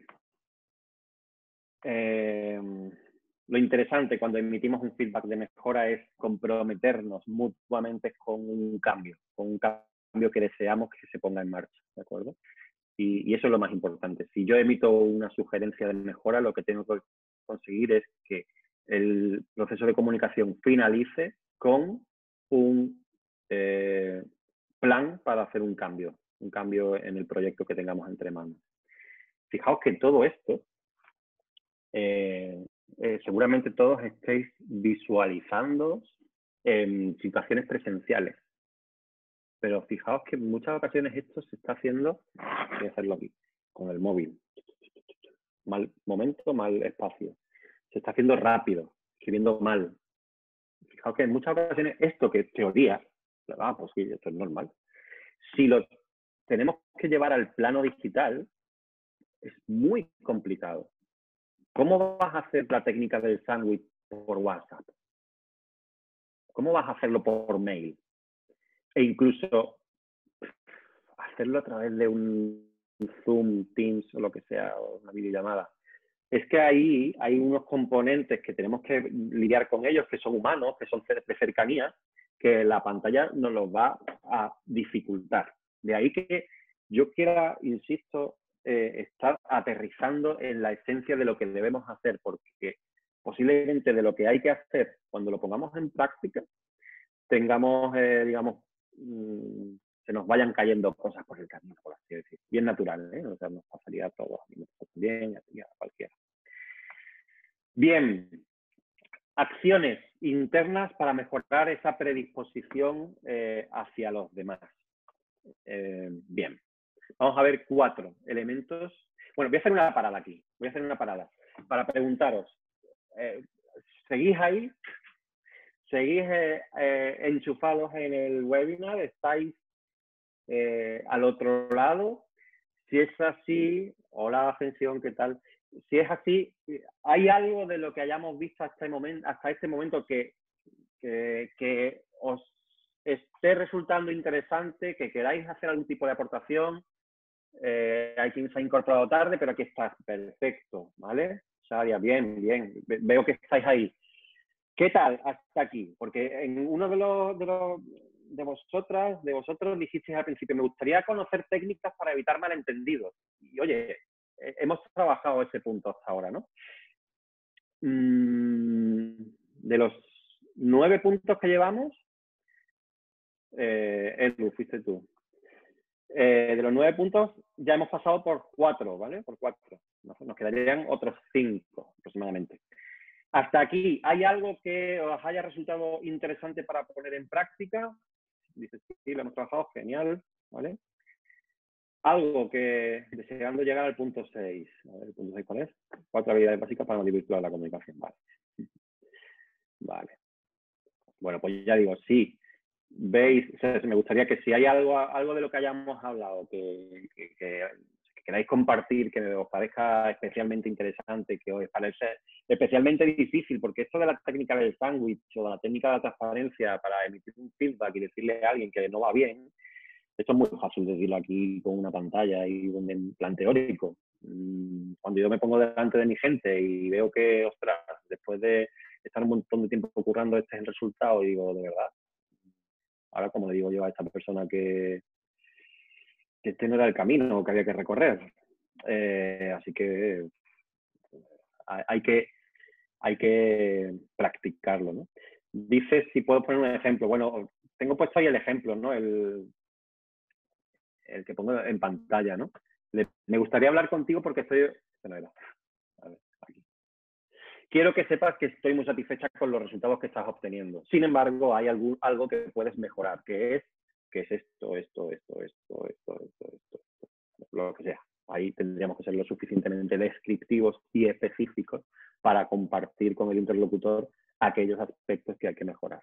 ¿vale? Cuando finalicemos esa exposición descriptiva y específica que, hay que mejorar, finalizaríamos con un me gustaría acordar contigo las bases para corregirlo, estoy segura que lo puedes conseguir. Si te das cuenta, a ver, eh, el sándwich lo que viene a decir es que cuando tú le vas a decir a otra persona, normalmente un colaborador interno, que tiene que mejorar, lo vas a hacer eh, poniendo en valor que esa persona la aprecia, básicamente, que, que si esa persona lo está haciendo bien en otros ámbitos, se lo vas a decir.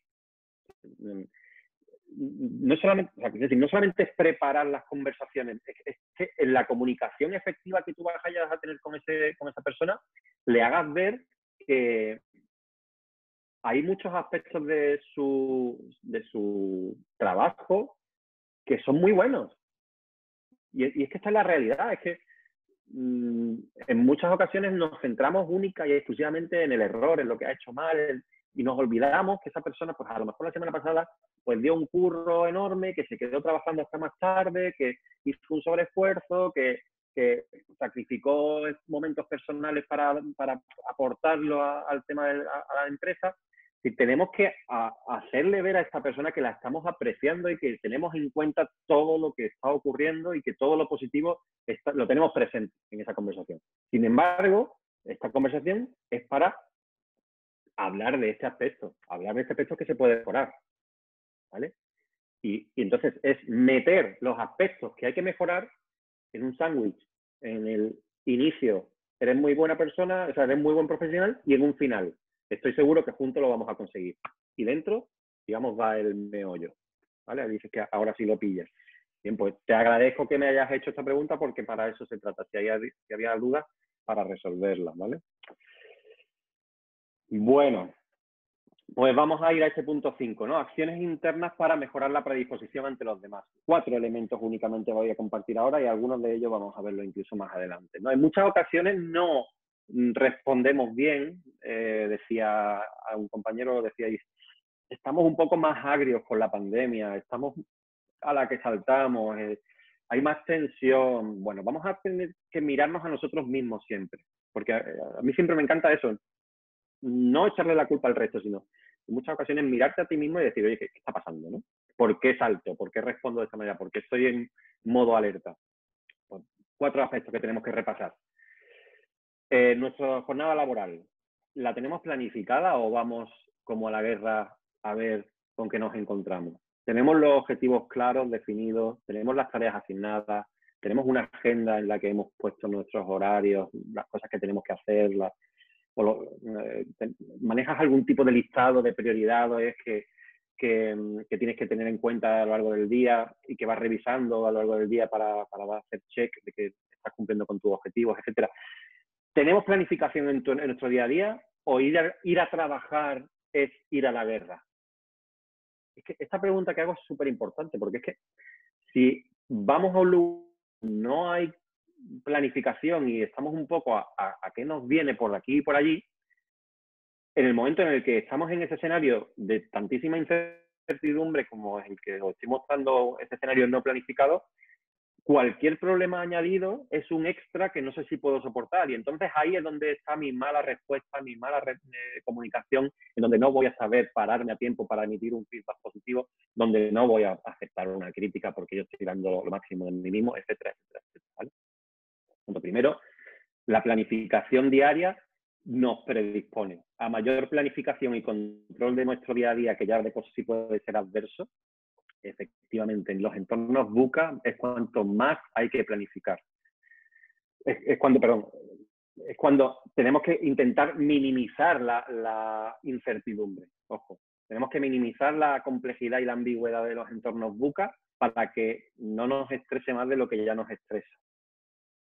Eso no quita que también, como dije el otro día, convenga situarnos en momentos y en escenarios en los que no sabemos qué va a pasar pero no, no, me, no me voy a meter ahí porque ya lo explicamos adecuadamente el otro día, pienso.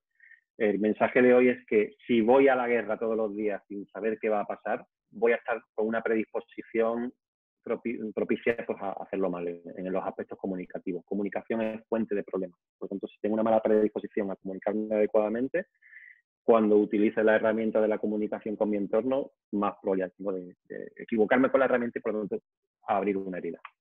Dos, no gestionar los ladrones del tiempo o no saber siquiera si existen. ¿Quiénes son tus ladrones del tiempo en el día a día? ¿Los tenéis identificados? ¿Quiénes son los que, qué elementos os están robando el tiempo? Cuando vosotros hacéis una planificación de vuestro día a día, acaba el día y dices, joder, no he hecho nada de lo que estaba planificado, ¿qué es lo que habéis hecho en su lugar?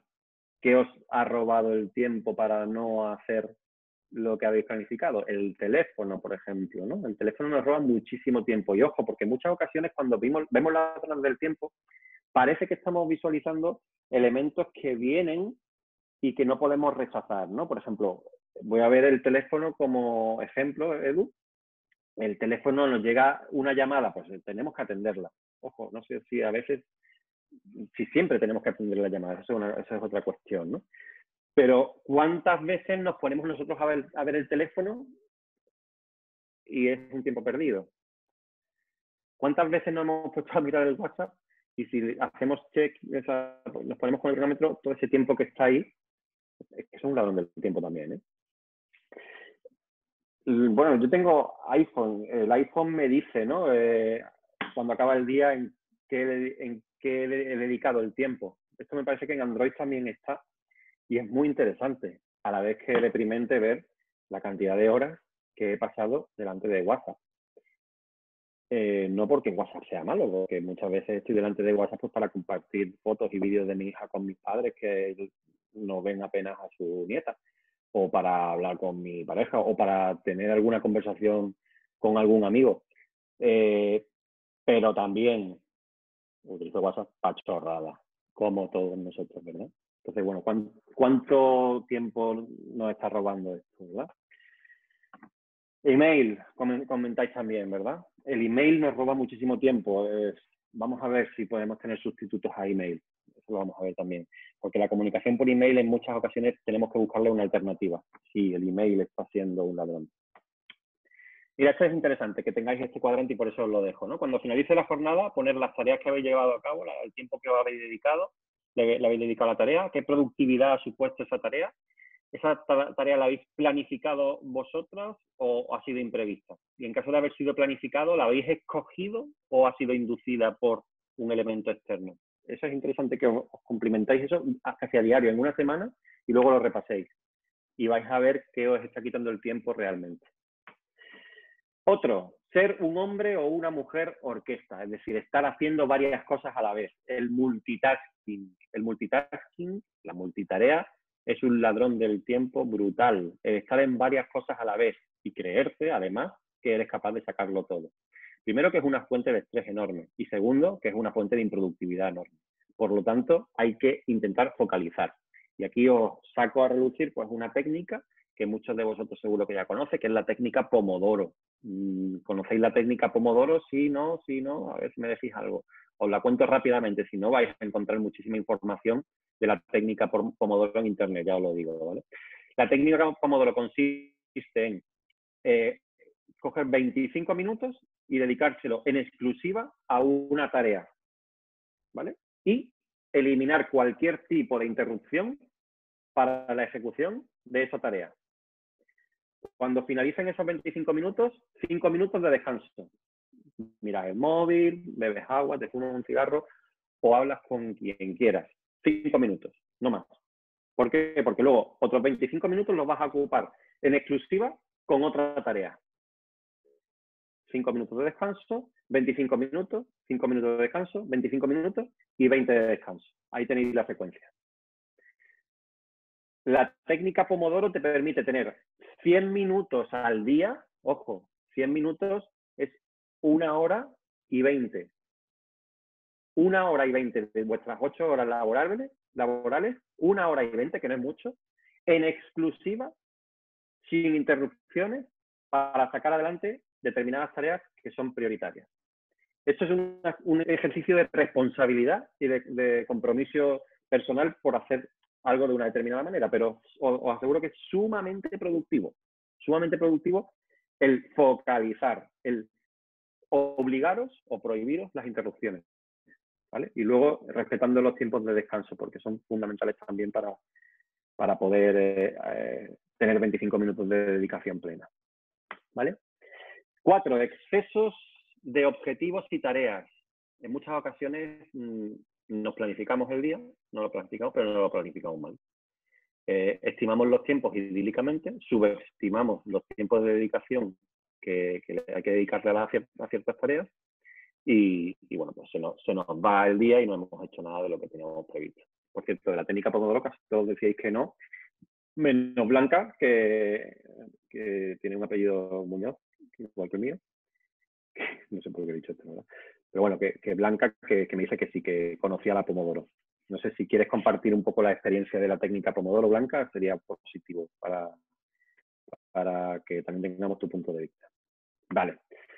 Y quería terminar esta primera parte, o esta parte antes de llegar a, otros eh, espacios, con la matriz eh, Eisenhower, que no sé si esta la habéis conocido, imagino que sí, ¿no? que este tipo de cosas, pues de alguna o de otra manera os habrá llegado de, digo, de, alguna o de otra forma. Fijaos que esto es otra matriz. Eh, para valorar, una matriz para valorar la importancia y la urgencia de las tareas que tenemos por delante. Si algo está en el cuadrante de arriba a la derecha es porque es muy urgente y muy importante. Por lo tanto, deja lo que estés haciendo y ponte a hacer eso. Hazlo ya. ¿Qué ocurre? Que para llegar a esa conclusión tengo que hacer el análisis y decir, ¿esto es urgente? ¿Sí o no? ¿Esto es importante? ¿Sí o no? En muchas ocasiones nos ponemos a hacer cosas que a lo mejor son importantes, pero no urgentes, como en la matriz 2. Cosas que son importantes, pero no son urgentes. Vale, pues ese tipo de cosas, ponedla en la agenda. Ponedla en la agenda para luego cumplirla, pero no lo hagas ya el hecho de ponerla en la agenda es que te lo quitas de la cabeza y al quitártelo de la cabeza te estás eliminando la posibilidad de tener mucho estrés. Por lo tanto, si hay algo importante que aparece en el día a día, no es urgente, tengamos una herramienta, a ser posible digital, como la que estuvimos hablando el otro día, para ser más eficaz, más eficiente y ponerlo en la agenda. ¿Vale? Paro aquí para eh, compartir un poco el comentario que dice Blanca. Dice que creo que la cuestión es planificar anteriormente, porque aunque apliques la técnica, si seguimos con la distracción y poniendo las prioridades de los demás por delante de nuestro plan, no funciona. Claro, sí, es que eso es, así, es decir, si hemos dicho que vamos a dedicar 25 minutos, 25 minutos, 25 eh, minutos para algo en concreto, tenemos que respetarlo si en esos 25 minutos no me concentro y permito interrupciones y permito atender el, a, tareas que no son las que habías planificado, pues la técnica Pomodoro pues, no, existe, que en la práctica no está existiendo. Eh, dices que no te encanta, pero por, los tiempos, por estos tiempos está bien probar. Yo creo que está bien probarlo todo ahora mismo, eh, todo aquello que pueda darnos al lugar a, ser más productivo, ¿verdad? Y en este caso ya digo, la Pomodoro mm, quizá no nos encante por un motivo y es que estamos viviendo en una vorágine, en una sociedad que, nos está continuamente seduciendo a distraernos, eh, a no ser constantes. Y la Pomodoro lo que te está diciendo es que seas constante, fijaos, 25 minutos, que tampoco te está pidiendo mucho, pero son 25 minutos de concentración en una tarea, eliminando todos los distractores que tengas a tu alcance y están, estar con tranquilidad en esa tarea. Esto no quiere decir que, te tengas que obligar a estar estresado con la tarea, no, no, es relajadamente afrontar esa tarea, pero relajadamente, pero sin distractores y sin prestarle atención a ninguna otra tarea, solo estar con ella. Bien, volvemos a la matriz Eisenhower. Algo es muy urgente y es muy importante, hazlo ya. Algo es urgente pero no tan importante, ponlo en la agenda. No, lo que, no te lo quedes en la cabeza para ya lo haré. No, no, mete, escríbelo, escríbelo, porque en el momento en que lo escupes, te sale, se, sale de tu cabeza, ¿vale? Si hay algo urgente, pero no muy importante, ¿vale? Eh, intenta hacer que lo haga alguien, si puedes. Si hay una urgencia y es algo que no es del todo importante, trata de buscar alianzas en tu organización, en tu pequeña organización, para que alguien lo haga por ti. Porque en muchas ocasiones nos cargamos en nuestra mochila de responsabilidades, de funciones, de tareas que a lo mejor no nos corresponden, que hay que aprender a delegar. Y si algo que me aparece por delante ni es urgente ni es importante, minimízalo, bórralo, tíralo a la basura. Cuántos chistes y demás de nuestros amigos por WhatsApp aparecen a lo largo de nuestra jornada laboral que no son importantes, que no son urgentes, que, uy, es que hay 125 notificaciones, es que no se está hablando de nada, no te preocupes. Que si ya cuando llegues luego haces un repaso y, que no te has perdido nada si no lo ves. Dice Rosa que si tienes que quitar el sonido al móvil durante 25 minutos, te agobiarías. Fíjate, ¿eh? que quién es prisionero de quién. ¿El móvil es nuestro nosotros somos del móvil? Cuidado, ¿eh? que, este comentario que has hecho, Rosa, nos tiene que, que, que, chapó por hacerlo. Quiero decir que, que esa es la realidad. La realidad es que nos da apuro tener el móvil 25 minutos cerrado. Probad a hacerlo. Es más, para ser más provocador, yo os diría que lo apagarais. No sé si habéis apagado últimamente mucho o poco el teléfono. En ocasiones que hay gente que, yo, que no lo apagamos. Apagarlo. Apagar. Fuera. Ya está. De repente dices, hostia, no me he muerto. Puedo seguir viviendo. ¿Vale? Eh, ¿Cómo discrimino algo si es urgente o es importante? Pues urgente. Me tengo que hacer la pregunta. Si no lo hago ahora, ¿qué puede ocurrir? Si lo hago dentro de 10 minutos, ¿pasa algo? Si, si lo hago dentro de media hora, ¿pasa algo? que si me, si me respondo que no pasa nada, no es urgente. Eh, dice Ascensión, silenciar los chats que distraen. Sí, sí, no solo silenciarlo, es es, quitarlo, es quitarlo de tu vista, es que no aparezca una notificación, que no salga un sonido, que no salga una vibración, que no salga un numerito diciendo que hay algo que no has visto todavía, porque eso es lo seductor, ¿vale? Y, los importantes no, claro, pues si tienes otros que dependen, que son para el trabajo, pues evidentemente tienes que tenerlo ahí previsto. Y dice que lo vas a hacer, Rosa, para, porque te he convencido. Bueno, espero que te vaya bien. Bueno. En la matriz Eisenhower, por lo tanto, ¿qué es urgente? Aquello que si no lo haces ahora, ocurre algo negativo. ¿Vale? ¿Qué es importante? Pues aquello que si pasa más de una semana y alguien se olvida esto y no ha pasado nada, eso no era importante. ¿Vale? Em, dice Edu, por 25 minutos nadie se va a morir a no ser que seamos cirujanos, que creo que no es el caso. Pero fíjate, Edu, que, las reflexiones que estamos haciendo son completamente honestas y transparentes, ¿no? Y, y sinceras. es que nos cuesta muchísimo, muchísimo trabajo desconectarnos, ¿vale? Entonces, urgente e importante. Urgente, si no lo hago ahora, ¿qué puede ocurrir? Importante, si yo o alguien más recordará este tema dentro de una semana, ¿sí o no?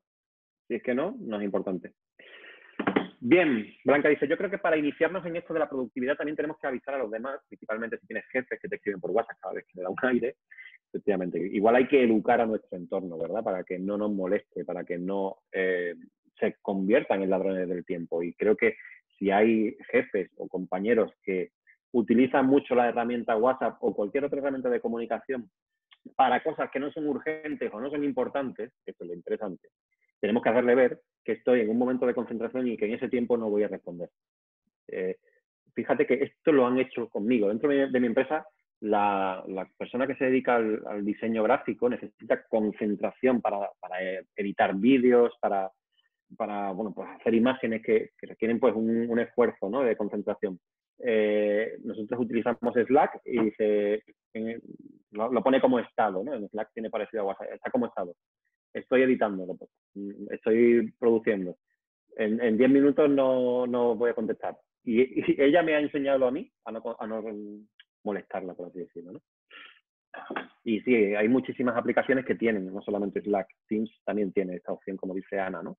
Una opción para avisar de que estás ocupado, de que, oye, que ahora mismo, pues, digas lo que digas, no te voy a responder. Bien, volvamos a entrar en este punto, vamos a ir quedan 20 minutitos. Cuatro habilidades básicas para no desvirtuar la comunicación. Y aquí voy a pediros a través un poquito de ayuda con un pequeño juego, ¿vale? No ayuda, sino eso, un poco de interactividad. Eh, como digo, la comunicación, mayor fuente de problemas y si es comunicación digital, los problemas se multiplican porque no tenemos tanto entrenamiento en la construcción de mensajes a través del canal digital y además porque en los canales que son digitales carecemos de eh, elementos como son los de la comunicación verbal y la, y la no verbal. la, no verbal, esa que nos acompaña y nos ayuda para completar el mensaje que te queremos trasladar, no nos acompaña del todo en la mm, comunicación digital, de manera que las barreras se multiplican. ¿no? Hay muchísimas barreras que están presentes en todo proceso de comunicativo, barreras relacionadas con con todo esto que vais viendo ahí. No sé si hay alguna palabra que haya aquí que no sepáis a qué se está repitiendo, pero todas ellas influyen en la desvirtuación del proceso comunicativo, es decir, en que el mensaje en la bombilla del emisor se vaya desvirtuando conforme llega al, receptor. Y esta frase es como para grabársela. Lo más importante en un proceso de comunicación, lo más importante en un proceso de comunicación no es lo que yo quiero decir, sino lo que entiende la otra persona. Y invertimos muchísimos esfuerzos en decir lo que queremos decir muy bien y cero esfuerzos en hacer, mm, en comprobar lo que ha entendido la otra persona. Y esto es una de las partes más importantes para comenzar este bloque que tenemos por delante. Lo más importante en un proceso de comunicación no es lo que queremos decir, sino lo que los demás entienden de lo que nosotros queremos decir. Y aquí, otra vez, es donde se pierden los, los mensajes para que esa bombilla de la derecha sea igual que la de la izquierda, pues tenemos un problema porque es que se pierde información. ¿Cuántas veces queréis decir algo y ya esto puede ser en entornos personales también, ¿no? Si, queréis el ejemplo para que os sea más cercano. Queremos decir algo, pero es que no sabemos cómo decirlo. ¿no? ¿no? sabemos cómo decirlo. Está lo que se quiere decir, luego lo que se sabe decir y luego lo que se dice. Una vez de lo que se dice a lo que se oye hay un gap y de lo que se oye a lo que se comprende otro, y de lo que se comprende a lo que se recuerda otro. Y si además con eso que me dijiste tengo que poner algo en práctica, cuidado porque hay una información que se pierde por ese camino, se desvirtúa, se modifica, se cambia, y hace que aquello que tú querías decir se ponga en práctica de una manera que en parte no tiene nada que ver con el origen de, de, donde sucedió toda esa comunicación. Cuatro habilidades básicas que vais a decir, pero bueno, esto cuatro habilidades no son estrictamente de comunicación, no. Son cuatro habilidades asociadas a la inteligencia emocional, son cuatro habilidades que de tanto decirse ya y de tanto verbalizarse, empiezan a estar tan manidas, tan toqueteadas, que comienzan a no decir nada. Y este es el problema que tiene cuando se democratizan conceptos desde la psicología en muchas ocasiones que, los sobreusamos sin conocer, sin comprender bien su significado. Y eso hace que la palabra pierda el sentido original, que todos creamos que somos empáticos, que todos creamos que somos afectivos, que escuchamos activamente y que hacemos buenos feedback. Sin embargo, no sabemos ni lo que es ni lo que significa realmente en profundidad estos cuatro elementos que son, en un ratito, los vamos a ver con un poco más de detenimiento.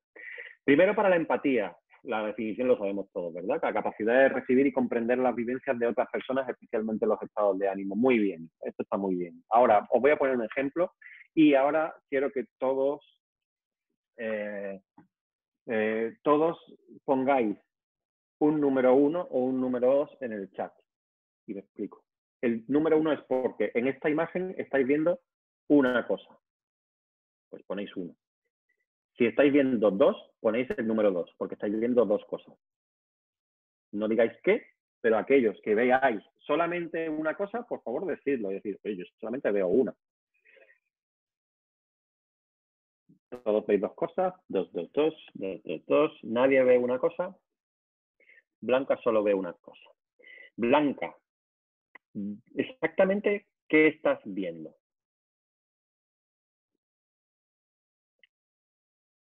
Dices que es rara.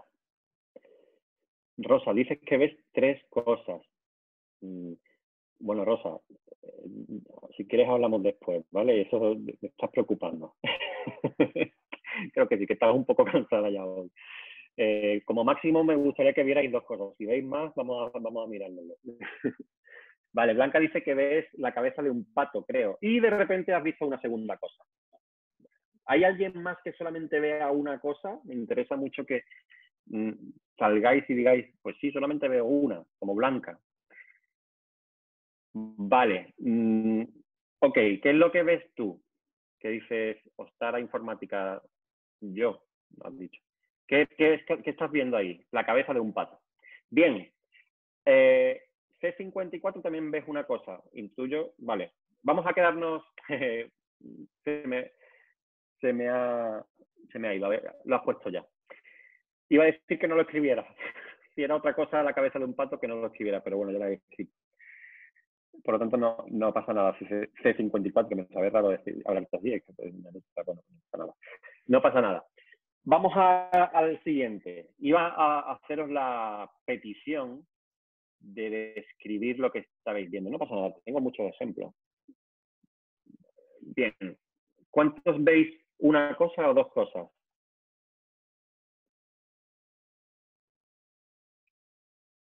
Tenéis que poner una o dos.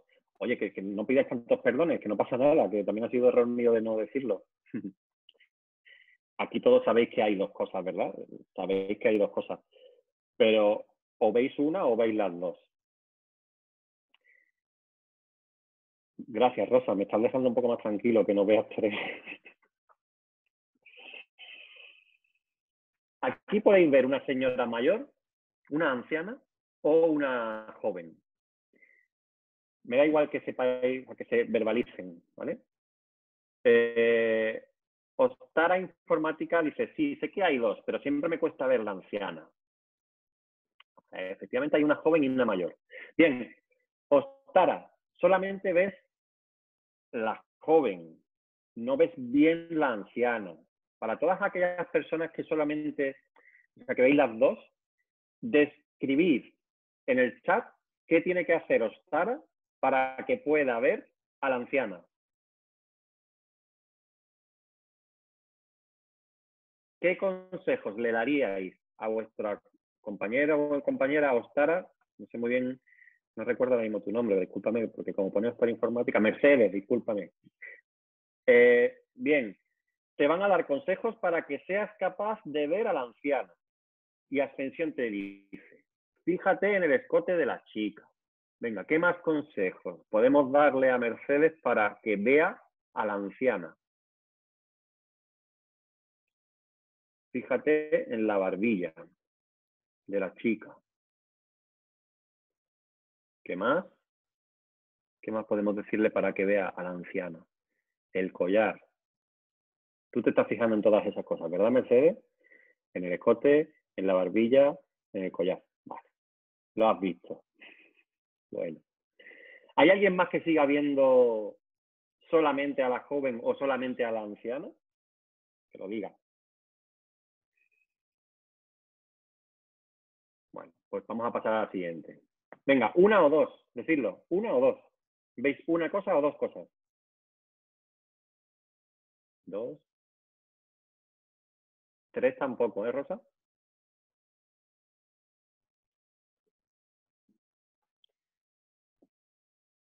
Mm, Rosa solamente ve una. No digas lo que estás viendo todavía, ¿vale?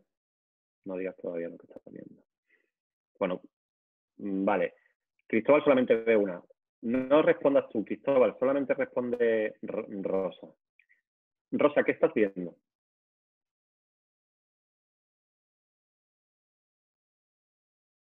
Venga.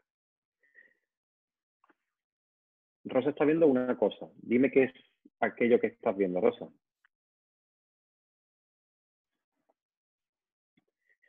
Alguien que se sostiene saliendo, un quinqué saliendo de la oscuridad. Ostras. Eh, no sé muy bien qué quieren decir. Volviendo a la historietilla primera de lo que acabas de decir, podríamos sacar varias interpretaciones. No tengo muy claro qué es lo que quieren decir. Vale, Rosa, vamos a parar aquí. Ahora le pregunto a Cristóbal, Cristóbal Palomo Rivero, ¿qué es lo que tú estás viendo aquí de enfrente, delante? dices que solamente ves una cosa.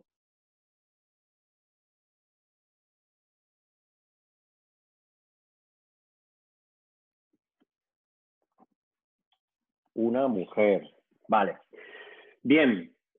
A todas aquellas personas que no ven la cara de una mujer en esta imagen, sino que están viendo otra cosa, sin decir qué es la otra cosa, escribir, describir, describir qué tiene que ver Cristóbal para que también vea eso que estáis viendo vosotros.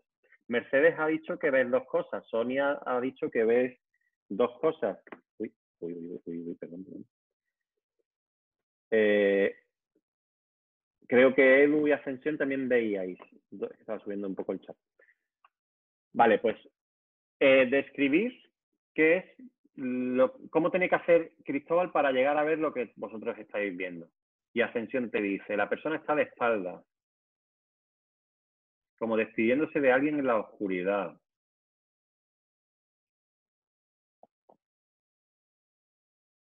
La oscuridad.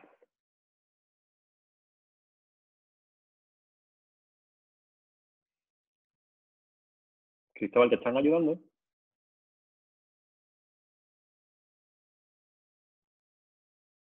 Mm, vale, una persona con un chaquetón. Bien, Ascensión dice, yo no veo una mujer sino el perfil de un indio, efectivamente. Bien, vale, vale, pues sí, se ven dos cosas. Una, como un indio, la cara de un indio. Rosa, te hemos perdido. No sé si esto eran las dos cosas que tú estabas viendo o, finalmente también has visto una tercera. La cara de un indio y como una persona de espalda con un gran chaquetón, con capucha, que parece que estuviese como entrando en una puerta o algo así, ¿verdad?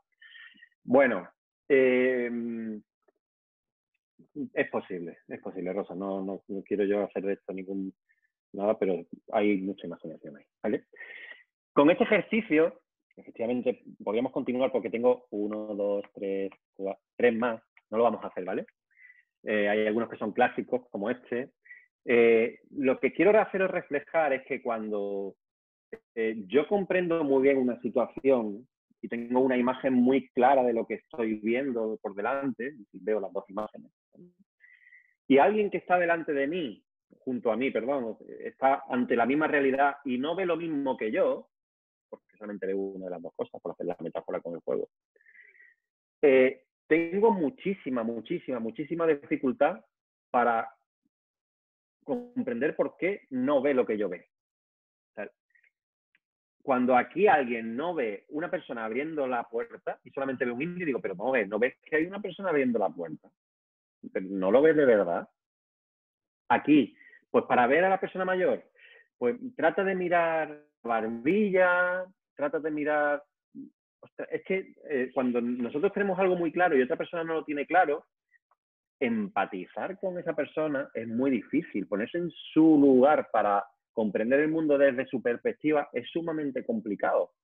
Y tratar de comunicarnos con esa persona, incluso hacerlo por escrito, es muy difícil, muy difícil. Si tenemos colaboradores que no están viendo lo mismo que yo, es muy complicado que yo por escrito logre describirle cómo tiene que hacer para ver la realidad como yo la estoy viendo. Yo la estoy viendo así porque a lo mejor tengo más experiencia, porque tengo más cercanía con un problema o con una tarea, con una responsabilidad.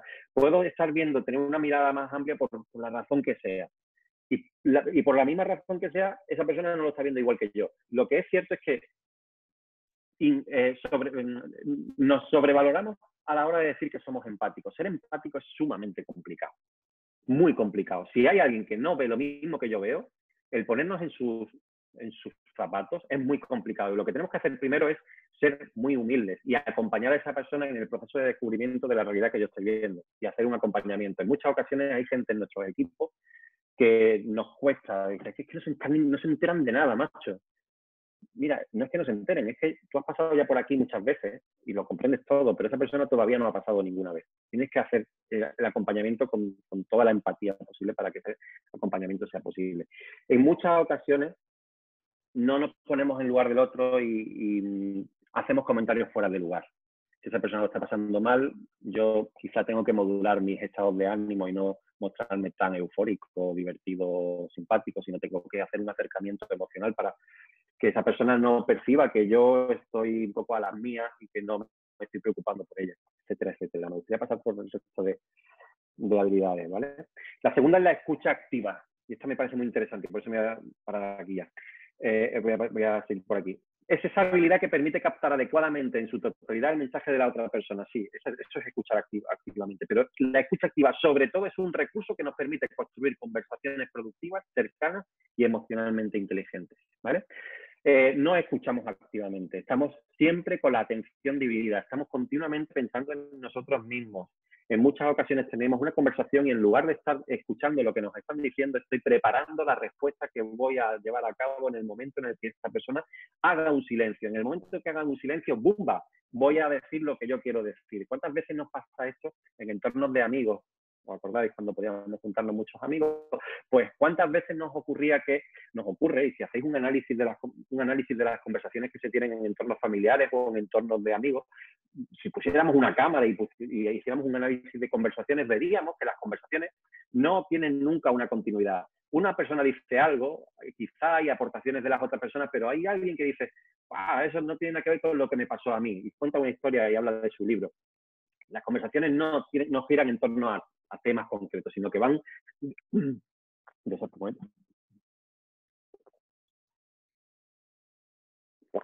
Perdón.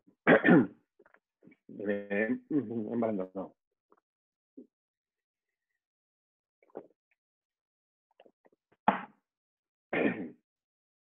Perdón. Como digo, las conversaciones en entornos informales son improductivas, no van a ningún sitio. ¿Por qué? Porque la gente no está escuchando, está esperando a intervenir y porque la conversación y la comunicación es una herramienta social.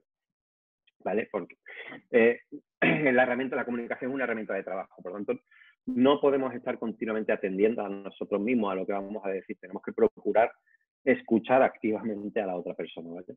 Y tampoco de nada sirve hacer pretender que escuchamos, el decirle, sí, sí, me he enterado de todo, porque no nos lleva a ningún sitio, ¿vale?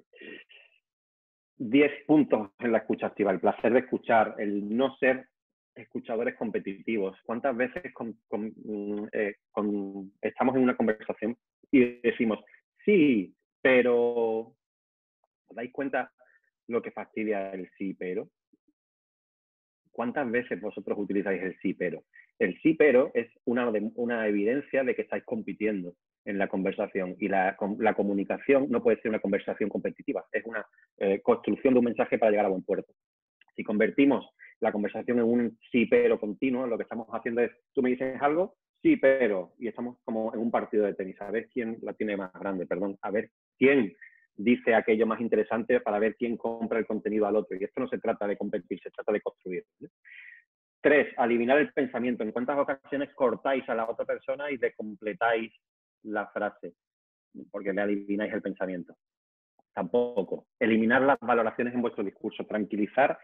Eh, esto lo vamos a ver. El problema del tiempo, no escuchar simplemente, demostrar que se está escuchando, la, atención simulada no vale, el momento y el lugar importa. Entonces, lo hemos hablado ya. La serenidad ante la crítica, callarse. ¿vale? Un ejemplo, en el ámbito, por ejemplo, familiar, para que luego ya extrapoléis esto al ámbito que queráis, ¿de acuerdo? Eh, vuestra pareja llega por la noche y dice, oh, está un poco preocupada esa persona, esa pareja que dice, mañana tengo una reunión importante en el trabajo y estoy algo nerviosa o nervioso. Opciones de respuesta. Tú le dices, joder, la verdad es que es lógico que estés nerviosa, es que hay muchas cosas en juego y en tu lugar pues también estaría nervioso. Normal, normal que estés nervioso. B. Pues mira, siéntate y si quieres yo me encargo de la cena, ¿vale? Un poquito así, no te preocupes que me encargo yo de todo. C. Ya verás que todo sale bien, tranquilízate, que al final las cosas salen bien. ¿Os suenan estas respuestas? No sé si os suenan o no. D. Sí, mañana tienes una reunión importante que te tiene intranquilo, cuatro opciones de respuesta. ¿Me podéis decir cuál es la opción de respuesta que está ligada a la inteligencia emocional y a la escucha activa? Uno, dos, tres o cuatro. O A, B, C o D. Voy a ver un poco de agua.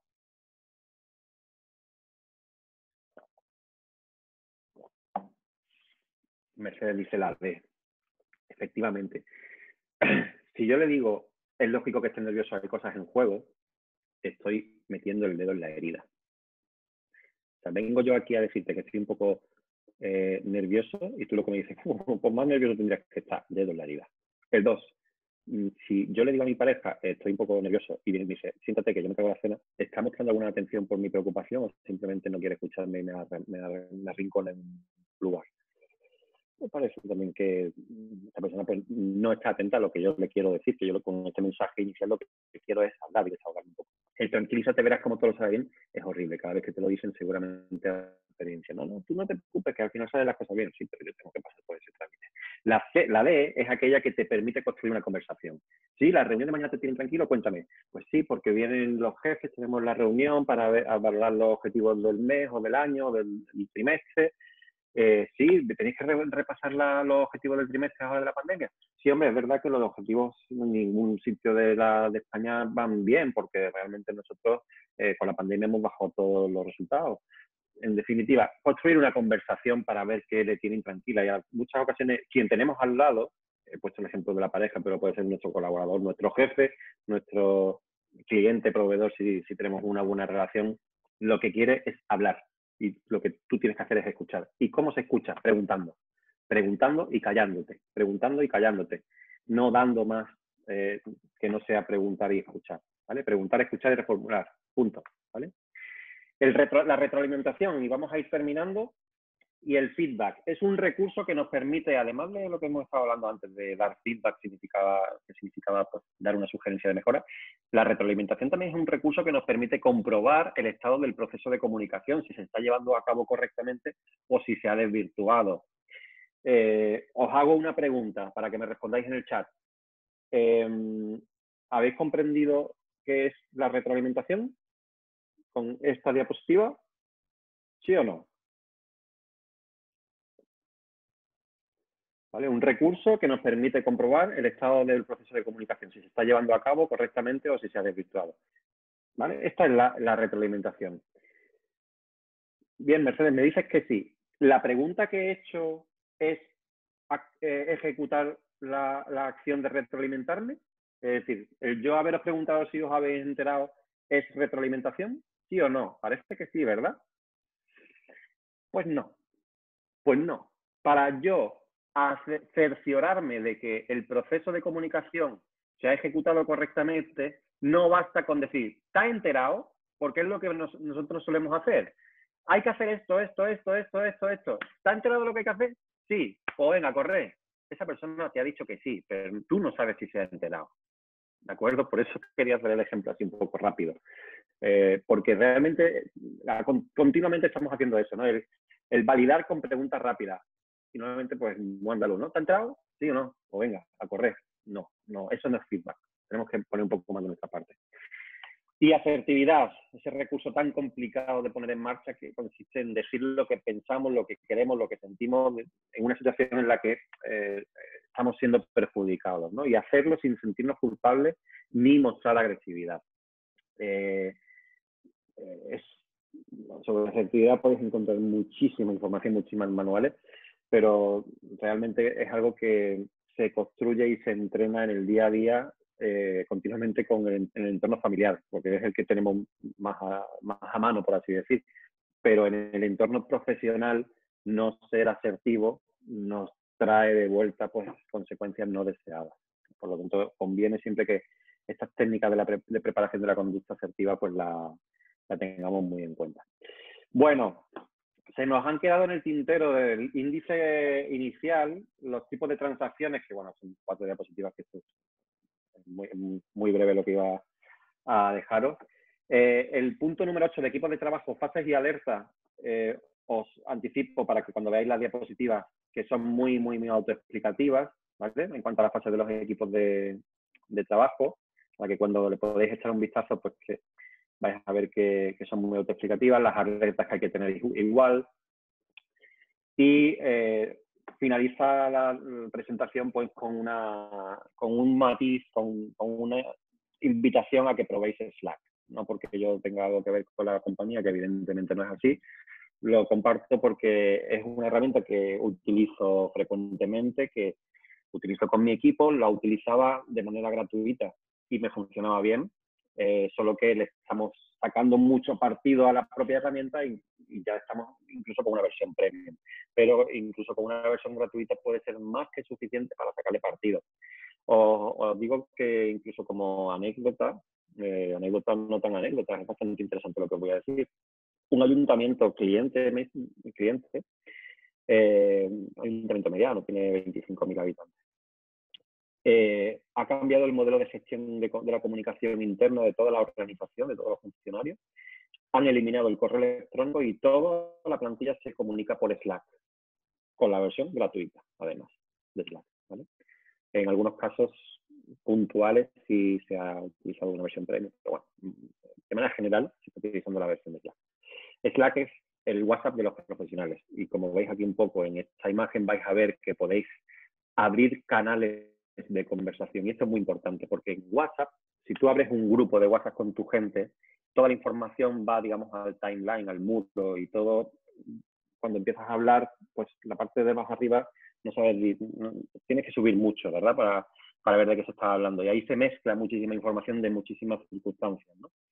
Entonces, eh, eh, lo que te permite Slack es habilitar canales específicos de comunicación y dentro de esos canales puedes compartir documentos, puedes eh, establecer conversaciones sobre un aspecto en, pues, en, concreto y abrir un hilo de conversación sobre una, un comentario que alguien haya hecho, poner emojis también que te gusta más o menos lo que se está comentando, eh, conectarlo con otras aplicaciones como el calendario para que toda la agenda aparezca en Slack como alerta. Puede ser un centro de comunicaciones eh, internas muy interesante, ¿vale? Eh, efectivamente, como agencia puedes tener abierto un perfil e invitar a, diferentes clientes. Yo particularmente te digo, yo tengo proyectos, abro un canal particular en el que tengo proyectos que comparto con clientes para tener una comunicación no solamente con mi equipo, sino compartir esa comunicación con clientes. En ese eh, Slack de mi cliente me han invitado a mí en uno de los canales para participar como proveedor de, uno de los proyectos. Por lo tanto, sí, es, sumamente interesante, mm, digamos, hacer pedagogía de este canal de comunicación con tus clientes y proveedores porque eh, con aquellos en los que te sientas más cómodo y puedas compartir este tipo de herramientas, eh, pues puedes tener una conversación a través de Slack, lo cual te facilita y te, quita muchos dolores de cabeza para quitártelo de, de, WhatsApp. ¿no? Eh, nosotros, por ejemplo, en gestionamos formación y los alumnos participantes de programas formativos también lo tenemos en Slack, eh, con distintos canales en función de las asignaturas o de los bloques temáticos que, que se tienen. Dentro de un canal más de, más de un, dentro, a ver, un canal puede tener más de un subcanal, no es necesario. O sea, si tú haces varios canales, eh, puede ser suficiente. Tienes que hacer una buena, una buena etiquetaje de, cómo son esos canales, pero en principio no. O sea, un canal es para hablar de aquello que corresponda a ese canal. Etiqueta adecuadamente los canales para que se puedan comprender bien en la gestión de la información, pero no, un canal no tendría un subcanal. ¿vale? Ahora, todos los canales que quieras tener, por supuesto. Eso sí, ¿vale? Bien, bueno, son las 8 casi y 10 y no quería pues que terminar sin daros las gracias por el día que tuvimos el otro día, por el día de hoy también. Os he pedido participación y, habéis estado ahí. Investiga, sí, Blanca, investiga, porque es verdad que a mí no me gusta hablar de, herramientas digitales porque, porque, es que a, Slack seguro que te lo va a explicar muy bien para vender su producto. Entonces te animo a que te metas en Slack, te metas en reviews sobre, Slack y, las leas porque es fantástico. ¿no? Yo aquí lo, que puedo hacer es recomendarlo porque me va bien, le va bien a mis clientes, conozco a mucha gente que cada vez le va, le va bien. Muchísimas gracias, veo que estáis dándome también las gracias, las gracias. Eh, de verdad que, os agradezco vuestra estar ahí, el que hayáis estado interaccionando conmigo. Ojalá todo esto os sirva y que realmente os haya aportado valor para, bueno, pues meter en vuestra mochila profesional pues algunas herramientas, tips, tácticas, trucos, técnicas que os permitan mejorar el día. Por mi parte, nada más. Muchísimas, muchísimas gracias. Eh, espero que ya con Manuel como tutor y, Ana coordinando el curso, pues vais a estar en muy, muy buenas manos. Eh, os lo dicho, tenéis mi contacto, si no lo tenéis, le digo abiertamente a Manuel y a Ana que pueden compartir mi correo electrónico para o, mi LinkedIn para que puedan contactar conmigo. Así que a vuestra disposición a partir de ahora y ojalá vaya muy bien el resto del curso. Muchísimas gracias, Nacho. Gracias. Muchas gracias. Muchas gracias a todos. Nos vemos mañana, no lo olvidéis. Sí, mañana de nuevo, doblete. Hasta luego. Recordad entrar en la plataforma, que estoy viendo aquí a alguien que viene a todas las masterclass, está muy bien, pero también hay que entrar en la plataforma, ¿vale? Venga, un beso. Chao, hasta mañana. Muchas gracias, Nacho, ¿eh? Muchas gracias, Manuel. Hasta luego. Gracias. gracias. Chao.